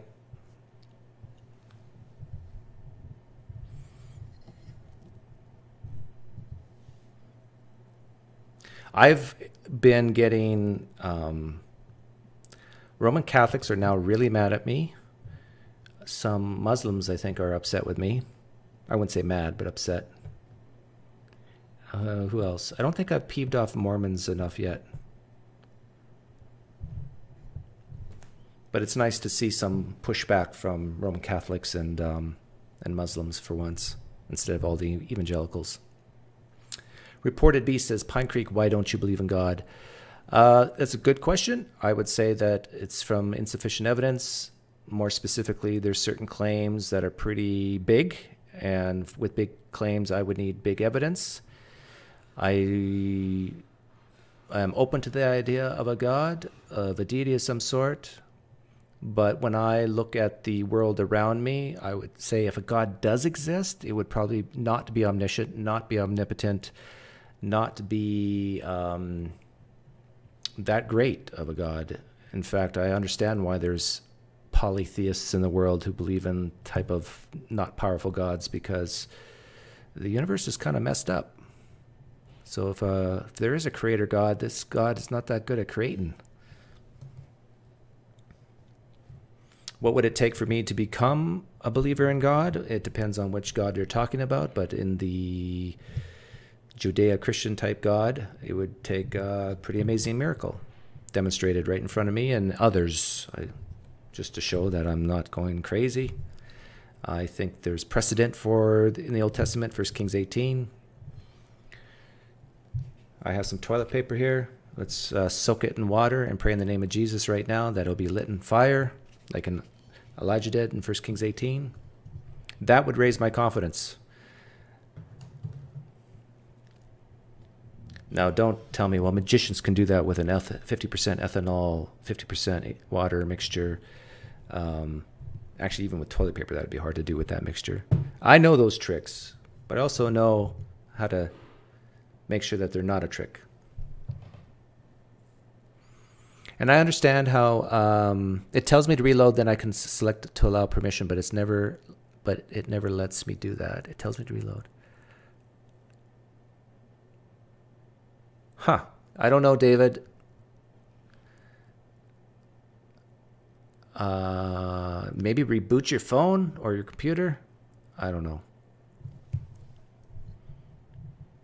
Why don't you try coming back in again and see if it gives you the same problem? Or it doesn't even let you back in. Make sure everything is closed, then reopen whereby.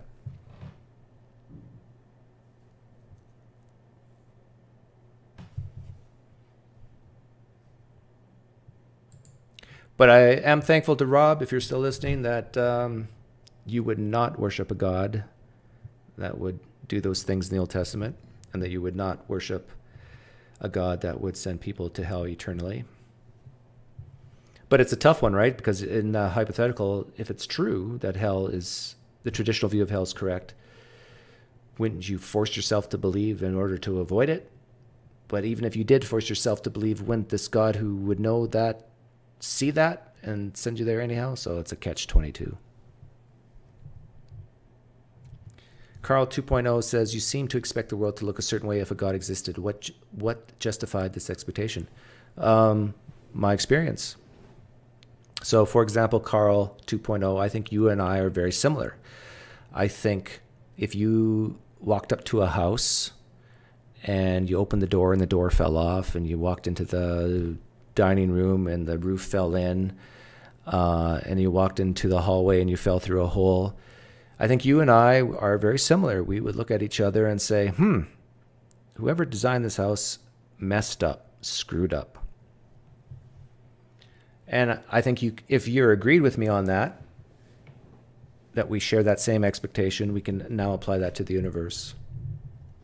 We see it as what 96% empty space, uh, less than 1% of inhabitable space, and even on our planet, 65% water, 70% water. And we can't swim. I mean, we can't live underwater. We can swim. I can't swim. Well, I can swim, but not really swim. It's either too hot or too cold on our planet. So, oh, and then you got like wisdom teeth appendices. You got giraffes with uh, with uh, nerves going all the way up to its neck and back down. It's like it, it just there's so many messed up things in our universe. You would have to conclude, well, this God is not that great of a designer, not that great of a creator. Joshua Phillips says, I don't think that follows. Why would you compare a human builder to God? Well, because that's everything in my experience is human builders, human this, human that. See, when people say things, now let me appeal to you, Joshua Phillip. Let me resonate with you. When you see a mother cradle her child in her arms, and the child looks up and smiles, and the, the mother looks down and smiles, and all that good stuff, don't you see the reflection of God's love? Do you not see the reflection of God's love there? If you answer yes, then we can look at bad things in the world and say that should be a reflection of not love. We can do the same thing with design. We can see design and see, or see good design and see bad design. So I understand why Christians hate to compare God to humans, but yet you guys do it all the time on the good stuff.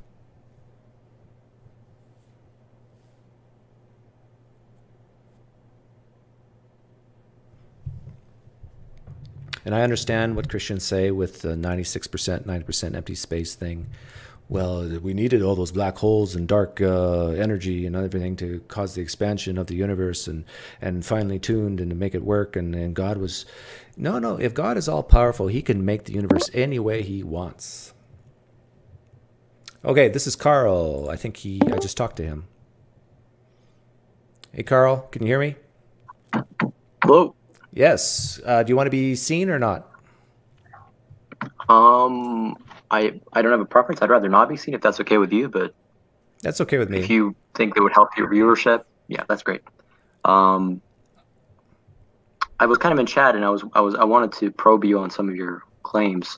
I, I take it that to say that the world is, is in a way that an omniscient, omnipotent, good God wouldn't allow takes a supplementary claim, which is that the world could be better, Mhm. or that such a God could have made the world better, or that even such a God has an obligation to make the world better. Do you And I- dis- and I'm wondering. Do you disagree that the world could be better?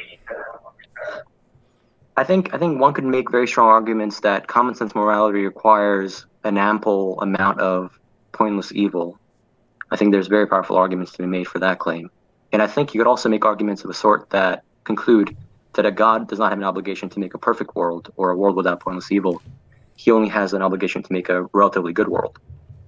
And I think there's even a third strain of arguments, and this is something I'm personally working on, where you posit a kind of a theistic multiverse. I don't know if you've heard of fine tuning arguments and atheists who say, who deal with the fine tuning through a multiverse.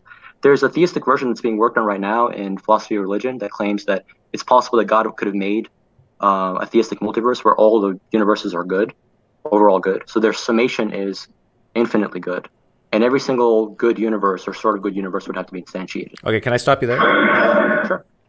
I need you to turn down my audio. Okay. Or get headphones. Check one, two. That's better, I think. Let me see. Okay. Um, I am totally open to the idea of God, and I usually don't push back on general theism or deism because uh, I just don't. It's like if that helps you get up in the morning, have hope, meaning, and purpose, so be it. What I'm more concerned about is specific theism because that's what determines how you live your life. Now, I have markers in my life that would change my mind and accept that or raise my confidence that a God exists. But I just tell you that things like fine tuning doesn't do it for me. But what would cause you, what's the marker in your life to say, well, first of all, are you a specific theist? His dad came in or someone.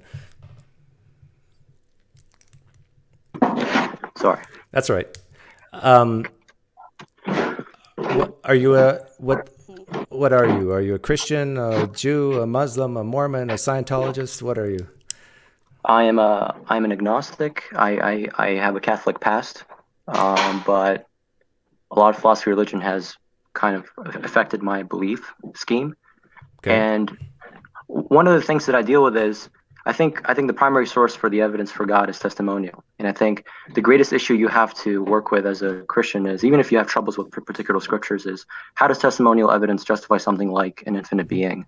That seems like the sort of thing that is really difficult. But what do you believe Justify. in? What God do you believe? I know I, I used to believe in the Christian God. I don't believe in a God now, but if I was to believe in one, it would probably be the perfectly good, uh, omnipotent, omniscient sort. Why should you Um, believe in a God? Why should one believe in a God? You, not one. You. Why should you, Karl, believe in a God?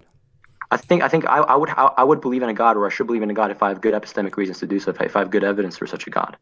So I- not since not- you not don't believe in a pragmatic reason. God, since you don't believe in a God currently, that means you do not have justifiable reasons to believe in a God right now. I, yeah, I, I do not believe in God right now because the summation of my of the evidence given by of, of the justification given by a priori arguments and testimonial evidence to their Bible, I don't think it's sufficient to justify belief in God. Okay, we're agreed then. Purely rational point of view. But but uh, it, I I probably agree with you on a lot. I'm just wondering, how is it that you deal with fine tuning, or how is it that you deal with people that say you don't have the moral knowledge to to Well, make to make the problem fi- of evil work? The fine tuning one is pretty easy for me because if you believe an all powerful creator God created the universe, he could have created it in any way. He could have set the dials to anything. So the whole fine tuning argument falls apart because you could say, well, universe A was fine tuned, universe B was fine tuned, universe C was fine tuned. There, if everything is fine tuned, then nothing's fine tuned. You can just God could have made a universe that is the flat Earth model. God could have made a universe like we see now. God could have. So it's to me, it, it's as simple as that. And I hear guys like Luke Barnes, they talk for hours and hours about the fine tuning argument. And I'm just going, what? If you believe that God can create in any way he sees fit, then this whole fine tuning argument just crumbles. I, I- think that a theist wouldn't grant you the first counterfactual statement, which is that God could create the world any any way He wishes. I, th- I think the idea is that God would have had to create the world with some surplus or some amount of value, especially good value. And the idea is that the sheer amount of good value in our world, whether it's a flat Earth world or a round world or a world with these metaphysical constants or those metaphysical constants, it's a world filled with beauty and value and goodness. And that's the sort of thing that calls for explanation over and above the constants. Unless it's an evil God. and, and that's another thing is it, it could very well be an evil god and i think I, I, I for one of my classes i've written a paper about why a morally indifferent god is more likely than a morally good god and i, and I think that's a very powerful argument to be made Mm-hmm. But I think Stephen Law does that. You're gonna have Sorry? to turn your volume down some more because I'm getting feedback. But, um, i apologize I- um, but yeah, Stephen Law makes that that uh, argument that you can have an evil god just as easy as a good god and defend it. I, I guess another thing i'm wondering is um, i- if you are a moral realist or a realist about abstract objects like you know logic or, or morality or even metaphysical constants what do you ground that stuff in that's kind of another Brute fact, interesting one. presupposition. say it again Brute fact, presuppositions. brute, brute fact presuppositions as in just moral facts of an independent existence and not grounded in anything or No, that it's the it, it it's the, in itself is the grounding. So, for example, my presupposition would be that the universe exists and has the properties it has, including the three laws of logic. So basically, uh, so basically, I would say this is something similar as the presuppositional Christians. I would say that it is necessary. It's not contingent. It is what it is. And if they ask me why, I say it is what it is. Just like the nature of your God is what it is, and not something different. And they hate that answer, but basically, I'm giving the same answer they give. Yeah. No, I, I agree with you there. Uh, do you do you have troubles with the epistemology of the stuff without God? Do, do you think that do, do you have some sort of naturalized epistemology of moral facts or logical facts or any of that stuff? To me, my confidence is raised when I see repeatable stuff happen that can be verified with uh, machines and other people. So, to me, epistemology is way more important than ontology because if the ontology is there, who cares if we can't know what it is? So, to me, I, I still acknowledge ontology, but I think epistemology is way, way more important. I agree. And, and what would be your epistemology of moral knowledge? Would it be you said re- repeatability or? Oh no, with moral stuff, um, I think I'm not one of those atheists who believes that in objective moral values. I think uh, morality evolved like we did. Uh, what is it, Sharon Street? Or, or do you think that it's just natural properties that it's reducible to? Yeah. Moral, moral truths. Yeah. Yeah. I could, but I could be wrong about that. I if and if, but that problem is if the ontology of morality is something from a deity or uh, even a natural thing, it gets back to epistemology. How would we know what the right moral thing to do is, and and do we even need to know? Is it just on our hearts, as the Christian would say? You know, is Right. it is it our intuitions? Yeah, I, I want to share just one thing before I leave. Um, th- this is something. This is a paper my professor is working on, and maybe this is a new idea you haven't heard of, and maybe it will help you in the future. Uh, he's been working on this fascinating response where, if you lived, if you lived in a world where every single evil had a purpose, if there were no pointless evils uh, or pointless suffering, you would have a reason to go out and try to cause evil because you know God would somehow account for that evil or work that evil into the the, the goodness fabric of the world. And so, from an epistemic point of view, uh, he's, he's writing a paper where he's arguing that a certain ratio of, of pointless evil is required for common sense morality to be um, a reality for us, for us to have reason to act morally or to avoid suffering or avoid evil. Because if it was the case that all evil has some greater purpose, we could go outside and try to kill a child and have the faith that God would somehow make that work out. So, um, and, I- and I think that that general line might be able to deal with a lot of um, pointless evil that like the, the, the fawn or the deer suffering in the forest, stuff like that, I think is bearable. Well, so I don't know if that really helps anything because you just are saying, well, there's a point to it, but we don't know what it is, right? well, the point was that if you knew what the point of it was, you would have no reason to act morally in the world. You, you could just do whatever you want and expect God to. So, so think of it this way: God values moral action and moral development. There's a sense in which, if you were sure of what the moral reasons are for everything, or the moral nature of everything is, or if you were sure that every single evil is somehow accounted for in the end, you would have great reason to go outside and try to cause evils, because God would somehow work them into the fabric of the goodness of the world. But do you know beforehand, before you do the evil, that God's going to work it out, and you know oh. exactly how He's going to work it out? where if you lived in a world where every evil is none of the evils are pointless evils that's that's the sort of world you would live in where you by you going outside and causing an evil it would have some point if god allows it it has some point. Yeah, but so you need some you need some ratio of pointless evils. In fact a great ratio because think of it this way if only 10% of evils are pointless evils then you still have a 90% chance that whatever evil you cause will create something good. I think this argument could get you to the point where the world has to have actually a majority over 50% pointless evils to allow for moral action. And so the idea here is that if moral action is valuable, not only good events, but just moral development and moral responsibility is valuable, then God might have to allow evils just to generate that. That might be a logical necessity or metaphysical necessity. I guess it would be metaphysical necessity. Now, I see you smirking. I don't think you find that very convincing, but maybe you No. could give me a reason why.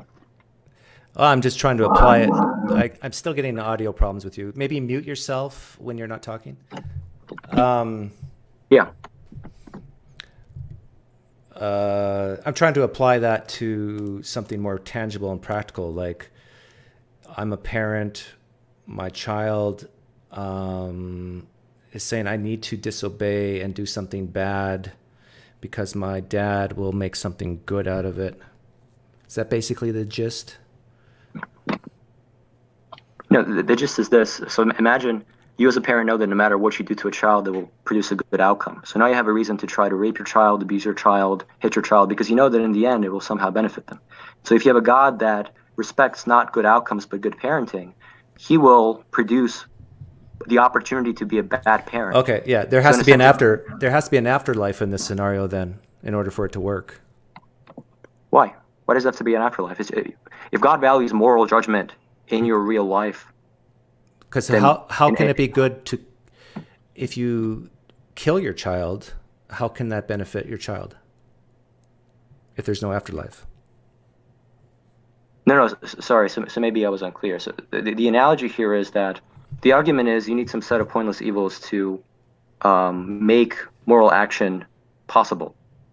In the parenting, the, the analogy in parenting example is you need some you, you need some possibility or some presence of bad parenting examples around you to understand that if you were to hit your uh, child and abuse your child and rape your child, they would they would become a bad child. Okay. If all you saw around you was great children who were great children regardless of you of their parents raping them and abusing them, then you would have an excellent reason to rape and abuse your child because you would know they would turn out fine anyway.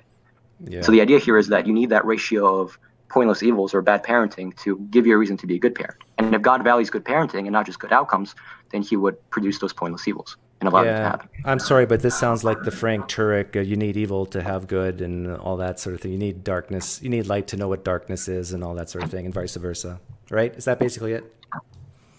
Uh, no, I, I think those views uh, have some sort of like mythical um, uh, yin and yang sort of property that I'm, I'm not shooting for. I'm literally shooting for this to be uh, from the agent's point of view. God values you as an agent to be able to do moral action coherently. That allows that, that requires that you understand that there that, that, that there is pointless evil in the world, where that is a hindrance, where, where that makes you want to prevent evils and to not do evils yourself.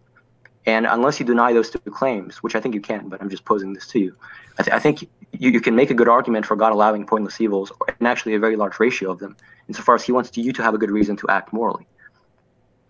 Because common sense morality says you shouldn't go outside and shoot a child. If you think there's no pointless evils in the world, then go outside sh- and try to shoot a child, because God will somehow make that into a good outcome. Yeah, Whether but nobody believes afterlife, that.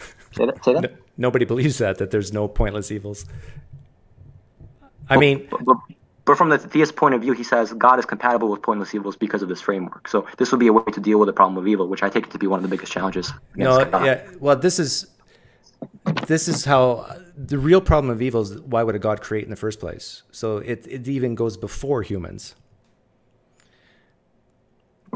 Well, I, I if the question is the theist can have an objectiveless moral point of view where they say X, Y, Z are good things, and and insofar as God is good, He will create a world with good things in it.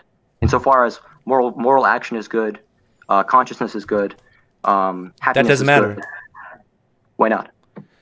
Because uh, at least in the Christian worldview, if there is a God that exists in three persons, you have love, you have all good, you have all powerful, you have all knowing. At least most Christians believe this, not all. Uh, how can you top that? You can't top that by creating stuff. Is the idea here that if you're evaluating the world, you are including God in it, and if, there's already an infinite goodness, you don't need to add on anything else to exactly surplus right. the infinite goodness? Any act of creation would be causing a world that is not as good as the first world, which has only God in it. Right. I, I, I disagree. So, so say that, and I think this is why God has to be somewhat utilitarian. If, if God has X amount of value, even if that value is infinite, I, I think we're assuming that you cannot get more than infinite stuff, which is, a, I think it's a mathematical claim that is largely unpopular. So you can get better cardinalities of infinity. So you're saying you can get better than God alone? Yeah, and, and I think what I think God values. I think I think from from a, from a reasonable theistic point of view, God values moral judgment and moral uh, personhood which God has, but actually to a to a, to a limited degree by himself. And think of it. So, so here's a very good way to put it. If you value moral relationships or moral characters, uh, you you as an agent alone cannot have a moral relationship with yourself. You need other agents around you to, right, to be involved in moral relations with. And so the idea here is God by himself is infinitely good, but there is no moral development or moral interaction he can have by himself. He needs other agents to produce these connections. He needs. With. Well, yeah, I, I think insofar as definitionally, yeah, moral relationships are between two people. He he logic it's logically necessary so that God, God is, have more God is needy.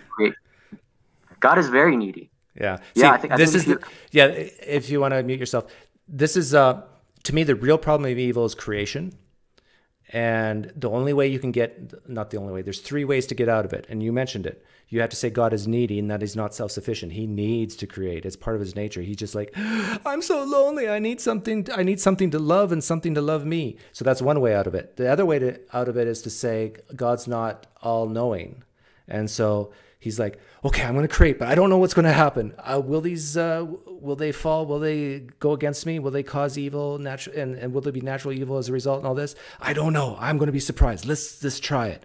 So that's another way out of it. The third way is to say that it's just part of his nature to create, that God is, doesn't have free will.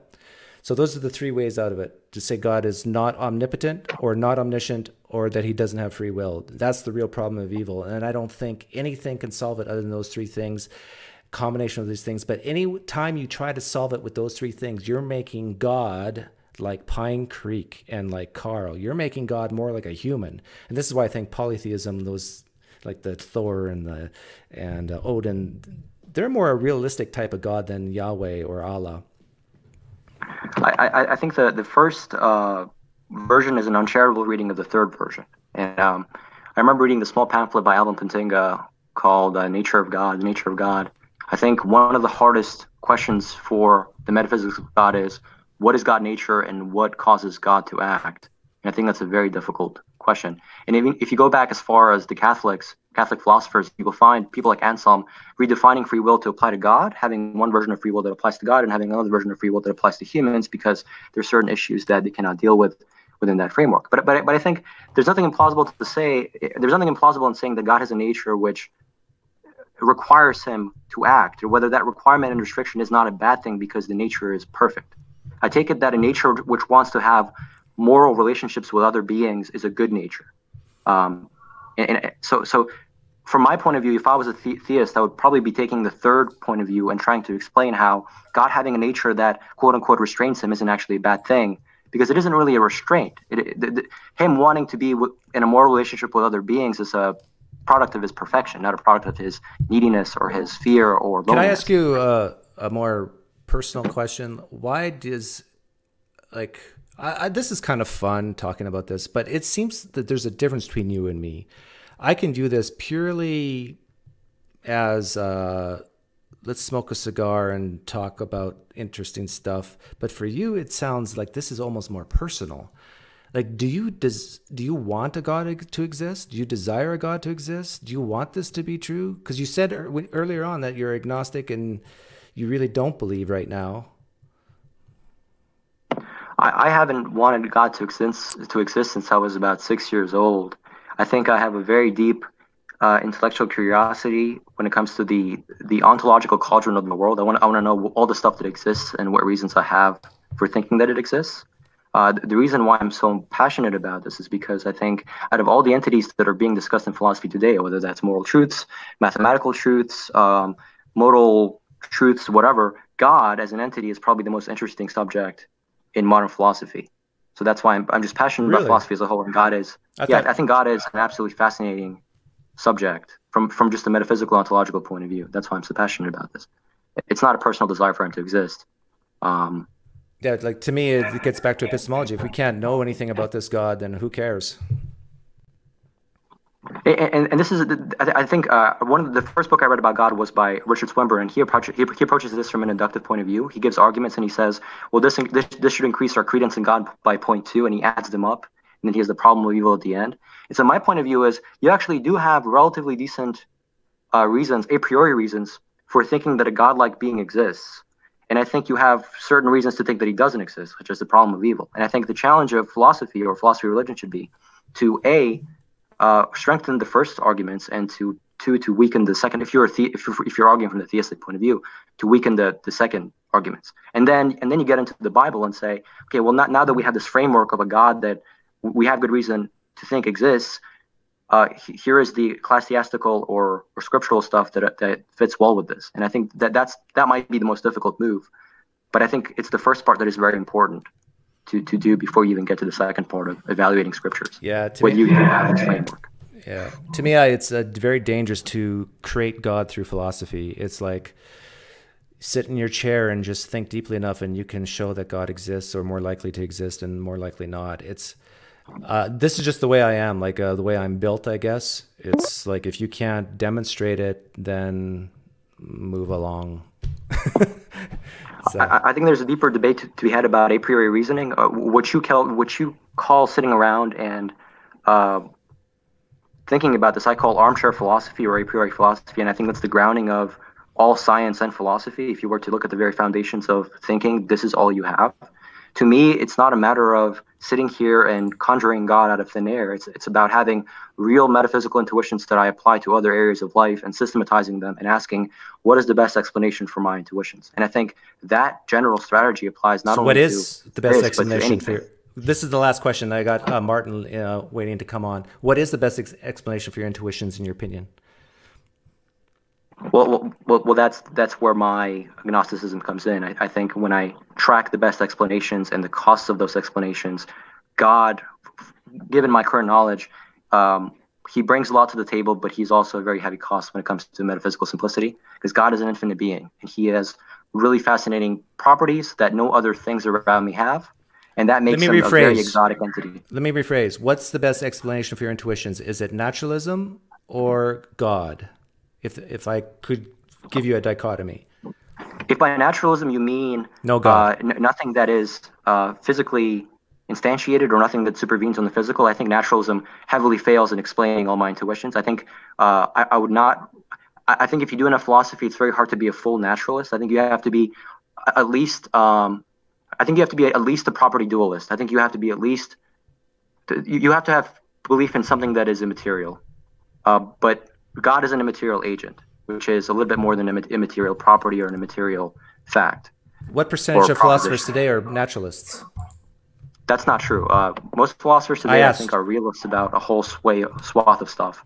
Most most modern analytic philosophers are realists about a whole bunch of stuff, which means they're non-naturalists. No, I was asking you, what percent? Do you know what percent percentage of philosophers are not naturalists? Oh man, um, I don't know the exact percentage, but I think if you were to go, so philosophy is divided into sections. I think if you were to go into like epistemology, you would you would be hard pressed to find people that are like reductivists or naturalists about epistemic facts. If you were to go into morality, it's more popular in morality, but there's more reductivists in the moral field.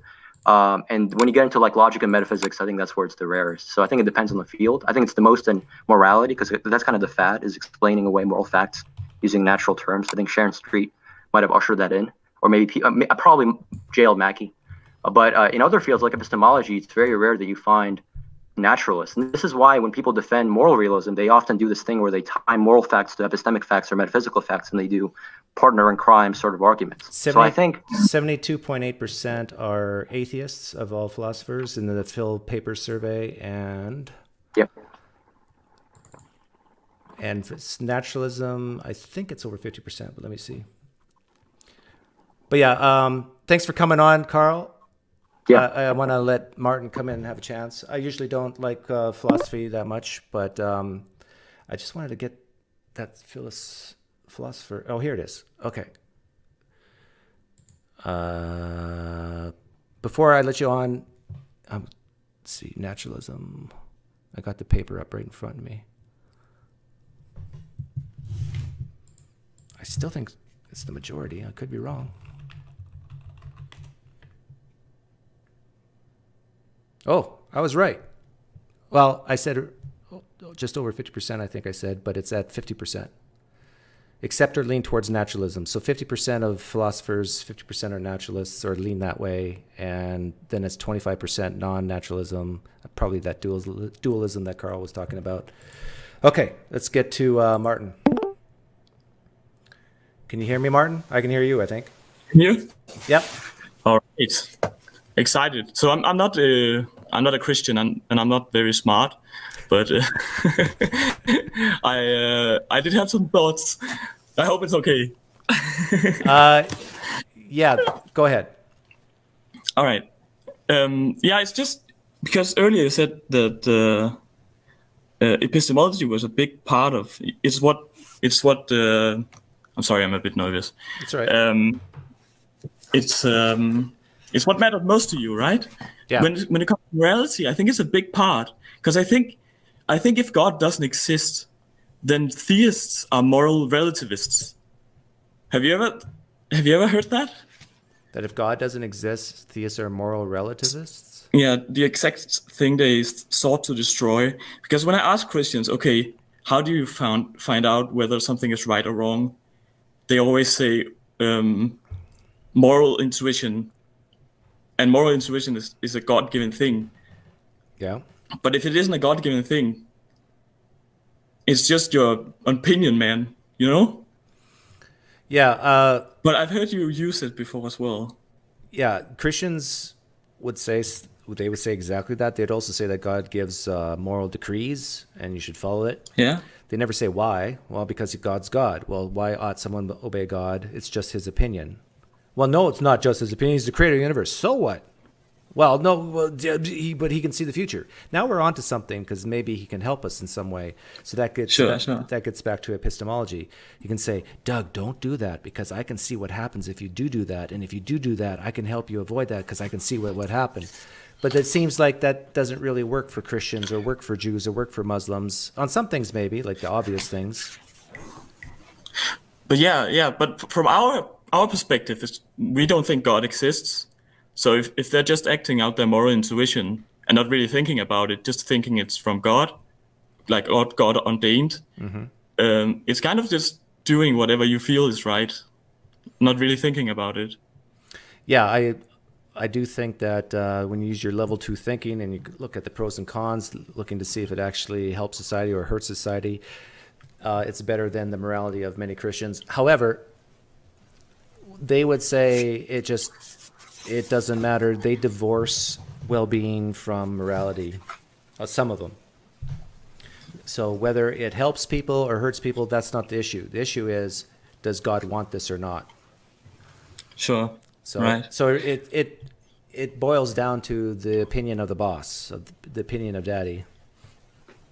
But it was more um, what you would lose following a theistic morality if God doesn't exist is quite a lot. Oh yeah, because that's why a lot of people um, stay stay Christian or stay Muslim or stay, that's why they stay. Morality is a huge one. Yeah. They, But- they, they for two reasons. Number one, they feel like they're going to do terrible things if they leave it. Uh, that's a, that's a big one. And another one is what was the other one I had in my mind? I forget. Doesn't matter. But yeah, it's it's such a huge factor. They think that that they have to stay. You just have to believe in God in order to have a basis for morality and all these things. And if not, it's like their life crumbles. Yeah, but I think there's, a, there's there are better ways to come to morality outside God, but but the theistic morality really hinges on God being real. Because if if he isn't real, you're just following your intuitions, opinions. Yeah, they would agree with Um, that. For example, yeah, okay, but I, to me, when you when they kind of make these moral arguments, and they use, uh, well, it, it certainly feels like we have objective morality. They're not really thinking like um, Pascal's wager sort of thing when it comes to morality. Well, if this is wrong, I I lose out. I I am a really I might not be a moral person if I follow theistic morality and a God doesn't exist. I don't know. I've had a hard time explaining this to people. But let's take, for example, I see a lot of Christians being against uh, uh, homosexual Yep. homosexuals, um, and I think it's a deep human thing to to fear what you don't know, Yep. right? But then an atheist might say, "Well, let's look at it, how it corresponds to well-being. Perhaps it's not as bad." But a Christian might just say, "Well, it feels bad, so it is bad." So so so it's it's worse than just saying, okay, the culture decides that it's bad. Um, because it's just your opinion, your personal opinion. And I, I, I tried to find some studies as well, and it seems like theistic uh, theists are Oh, we lost them. Yeah, um, I think I remember what I was going to say. It's Christians, Muslims, Jews, they like this idea of a God being the basis of morality so they can tell other people what to do.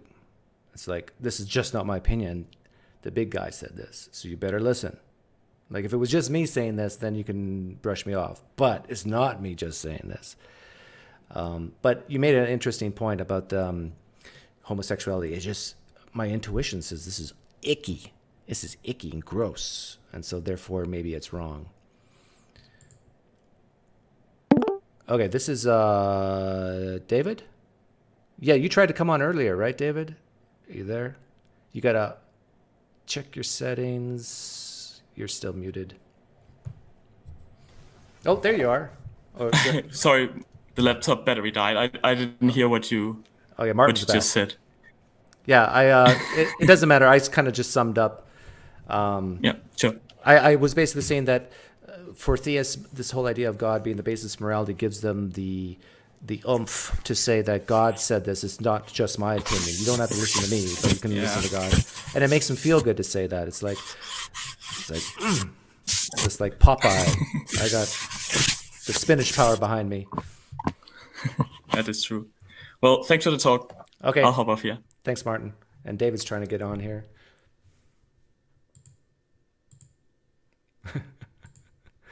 Uh, some funny comments in live stream.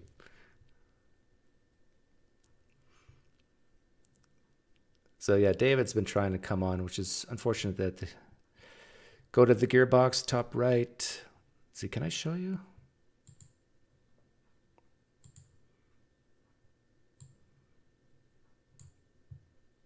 That didn't work. Oh, that's infinite regress. See, infinite regress does it does exist. It's possible. I've actualized the infinite regress right now. And Christians say that's not possible. These callers have to really stop moving around and shuffling around, says TZE Kindle. Yeah. Got to give them a break. For some of them, this might be their first time.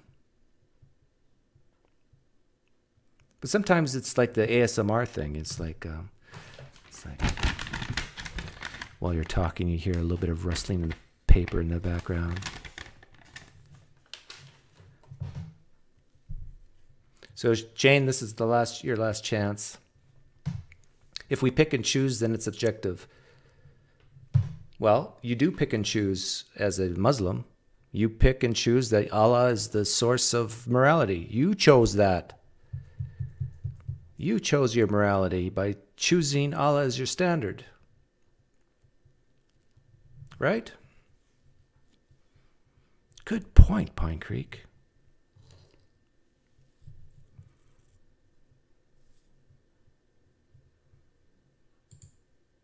Sorry, David, I can't help you other than what I've said already. Got to check your settings. Maybe God doesn't want you to talk to me. I don't know. But I'm going to start the music, and you got. Uh, we'll let God decide in two minutes here.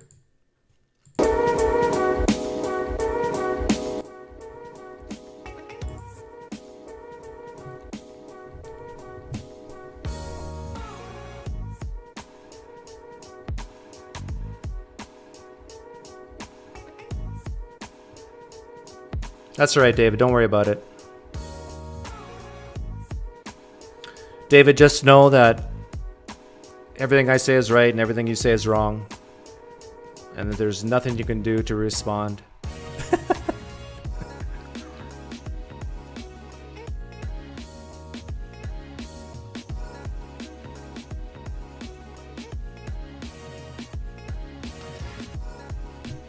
oh, there was a good comment here. Where is it?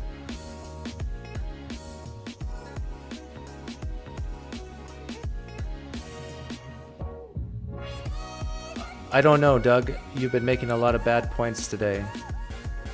Okay. Without specifics, I can't respond to that.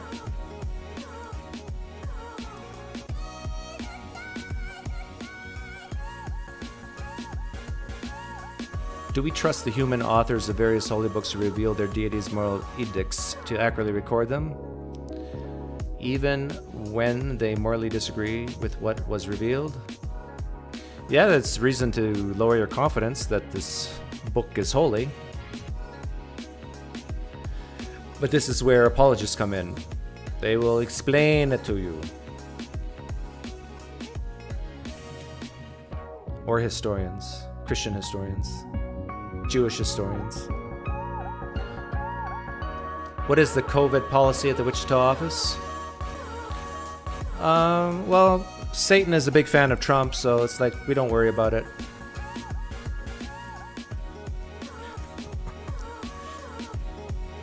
Hey, thank you, my lord, for the donation. If there is no religion, would philosophy not be important to encourage discussion about morality, ethics, logic, epistemology, etc.? That's a good question. I don't know.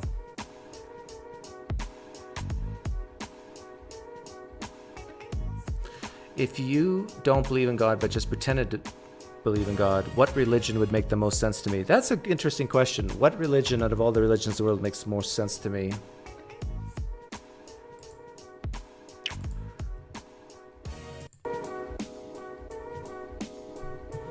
I honestly think a religion that does not have omniscience, omnipotence, um, omnipresence, omniscience, omnipotence, omnipresence. I think you when you put those three platonic ideas in a god, you're in for trouble. So what religion doesn't have that? Probably the belief in Odin or Thor, and just believe that these are non creator gods and the universe always existed, but these gods are real. And that they're that these gods are kind of stupid and messed up.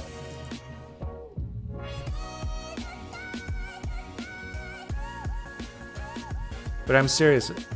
Like we had that philosophy guy in here before you start talking all knowing, all powerful, all free, all present, all loving, all good. You start saying stuff like this, and you run into troubles big time really quickly.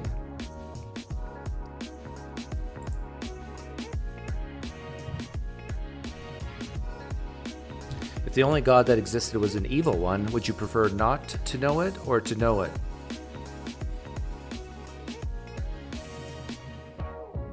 Hmm. I'd prefer to know it. Because I would want to please my master.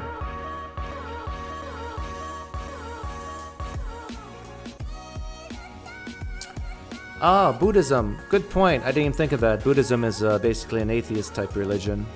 I'm kind of a Buddhist already in the fact that I'm um, a bit of a stoic, right? Aren't Buddhists kind of into stoicism and and squelching desires? Or is that Hinduism? I forget. Poof! Did we get to three hours? No. so disappointing. My apologies to the Marcionite guy, who is the most interesting Christian. Go check out his channel. It's called uh, Good God. Have a great rest of your weekend, guys. Take care.